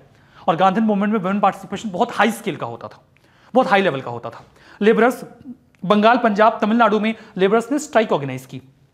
एक कमी रही। एक कमी यह रही कि यहाँ पर मास पार्टिसिपेशन में पीजेंट्स का पार्टिसिपेशन बहुत कम रहा। इस बात को ध्यान रखिएगा। स्वदेशी और बाइकॉट मूवमेंट में जो पीजेंट्स का पार्टिसिपेशन है that was very less reason being ये पूरा जो मूवमेंट था, ये अर्बन एरियाज़ में टाउन्स में सिटीज़ में कन्फाइंड था। तो ये पूरा मूवमेंट विलेजेस तक नहीं पहुँच पाया और पीजेंट्री इसके साथ खुद को कनेक्ट नहीं कर पाई। तो पीजेंट्स का पार्टिसिपेशन बहुत कम रहा, ठीक है? फीचर्स क्या रहे इस मूवमेंट के?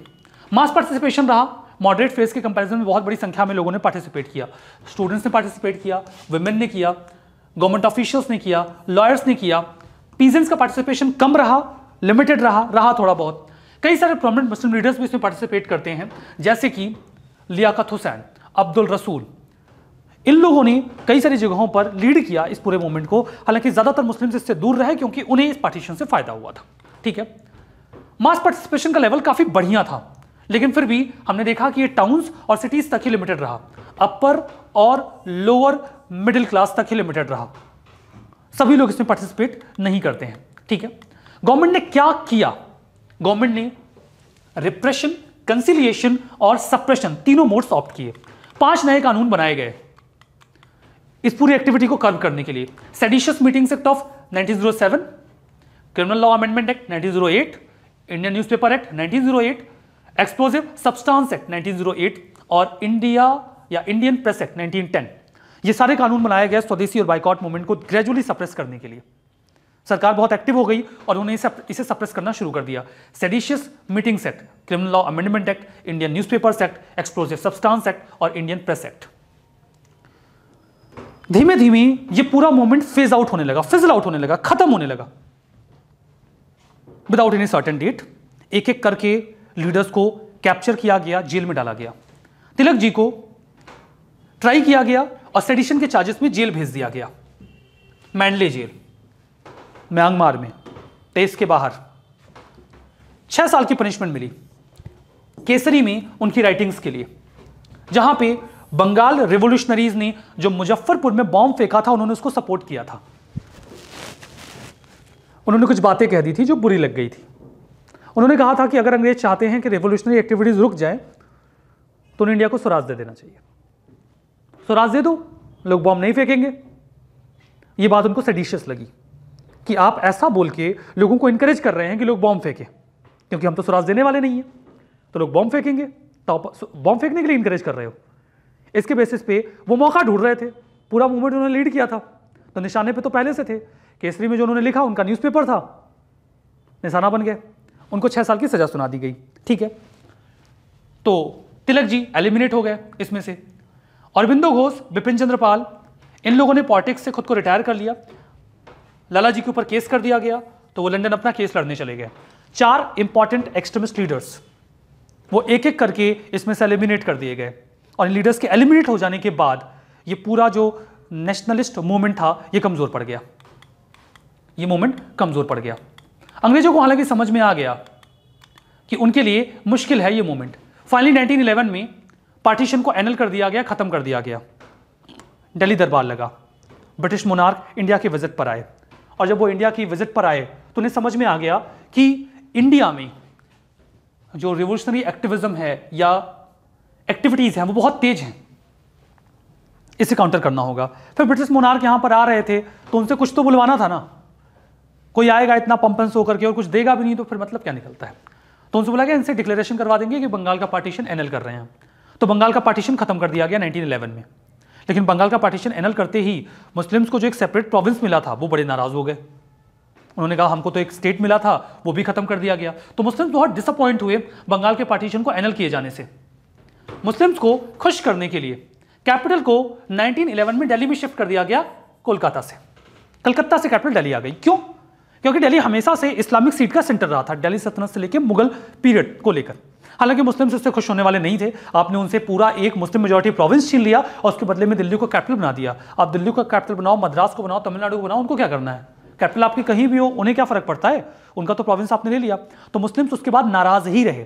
और यही कारण है कि बाद में मुस्लिम्स और मतलब मुस्लिम लीग और आईएनसी इंडियन नेशनल कांग्रेस के बीच में लखनऊ पैक्ट साइन होगा। उसके पीछे बहुत बड़ा कारण था बंगाल के पार्टीशन का एनल करना 1911 में।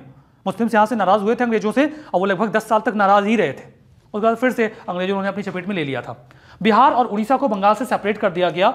ऑन द नेम आसाम को भी सेपरेट प्रोविंस बनाया गया। On the name of language religion के बेसिस पे नहीं अलग किया गया, लेकिन लैंग्वेज के बेसिस पे कुछ हिस्से काट के अलग करके बंगाल को छोटा किया गया।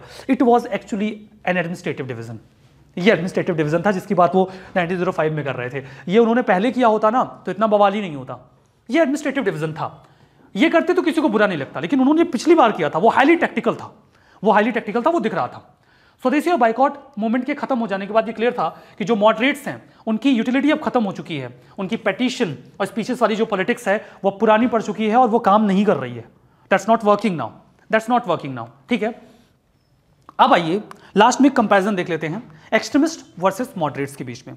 ये कंपैरिजन देखेंगे, ये माय सेशन का लास्ट पार्ट होगा, जहाँ पर हम दोनों को कंपेयर करेंगे। लेट्स हैव लुक मॉडरेट्स इनका सोशल बेस जमींदार और अपर मिडिल क्लास था। जबकि एक्सट्रीमिस्ट का upper base educated middle class और लोअर मिडिल क्लास था। मास्टर्स तक पहुँचे थे एक्सट्रीमिस्ट मॉडरेट्स नहीं। इनकी आइडियोलॉजी वेस्टर्न लिबरल थॉट्स और यूरोपियन हिस्ट्री पर बेस्ड थी। जबकि लोग इंडियन हिस्ट्री कल्चर और हेरिटेज की बात करते थे। इंडिया की हिस्ट्री की रिचनेस को रिवाइव करने की बात करते थे।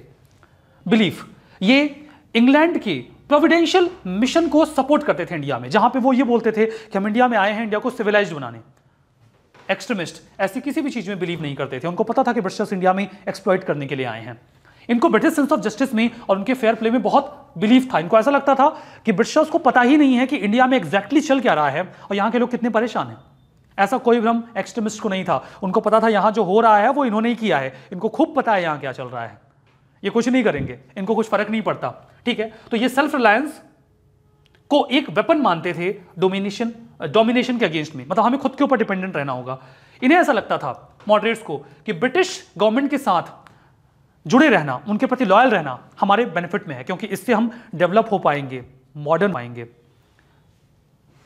मिडिल क्लास इंटेलिजेंसिया इनका एरिया केवल वहीं तक रहा। ये कभी भी मासेस में बिलीव नहीं कर पाए और उन्हें जोड़ भी नहीं पाए।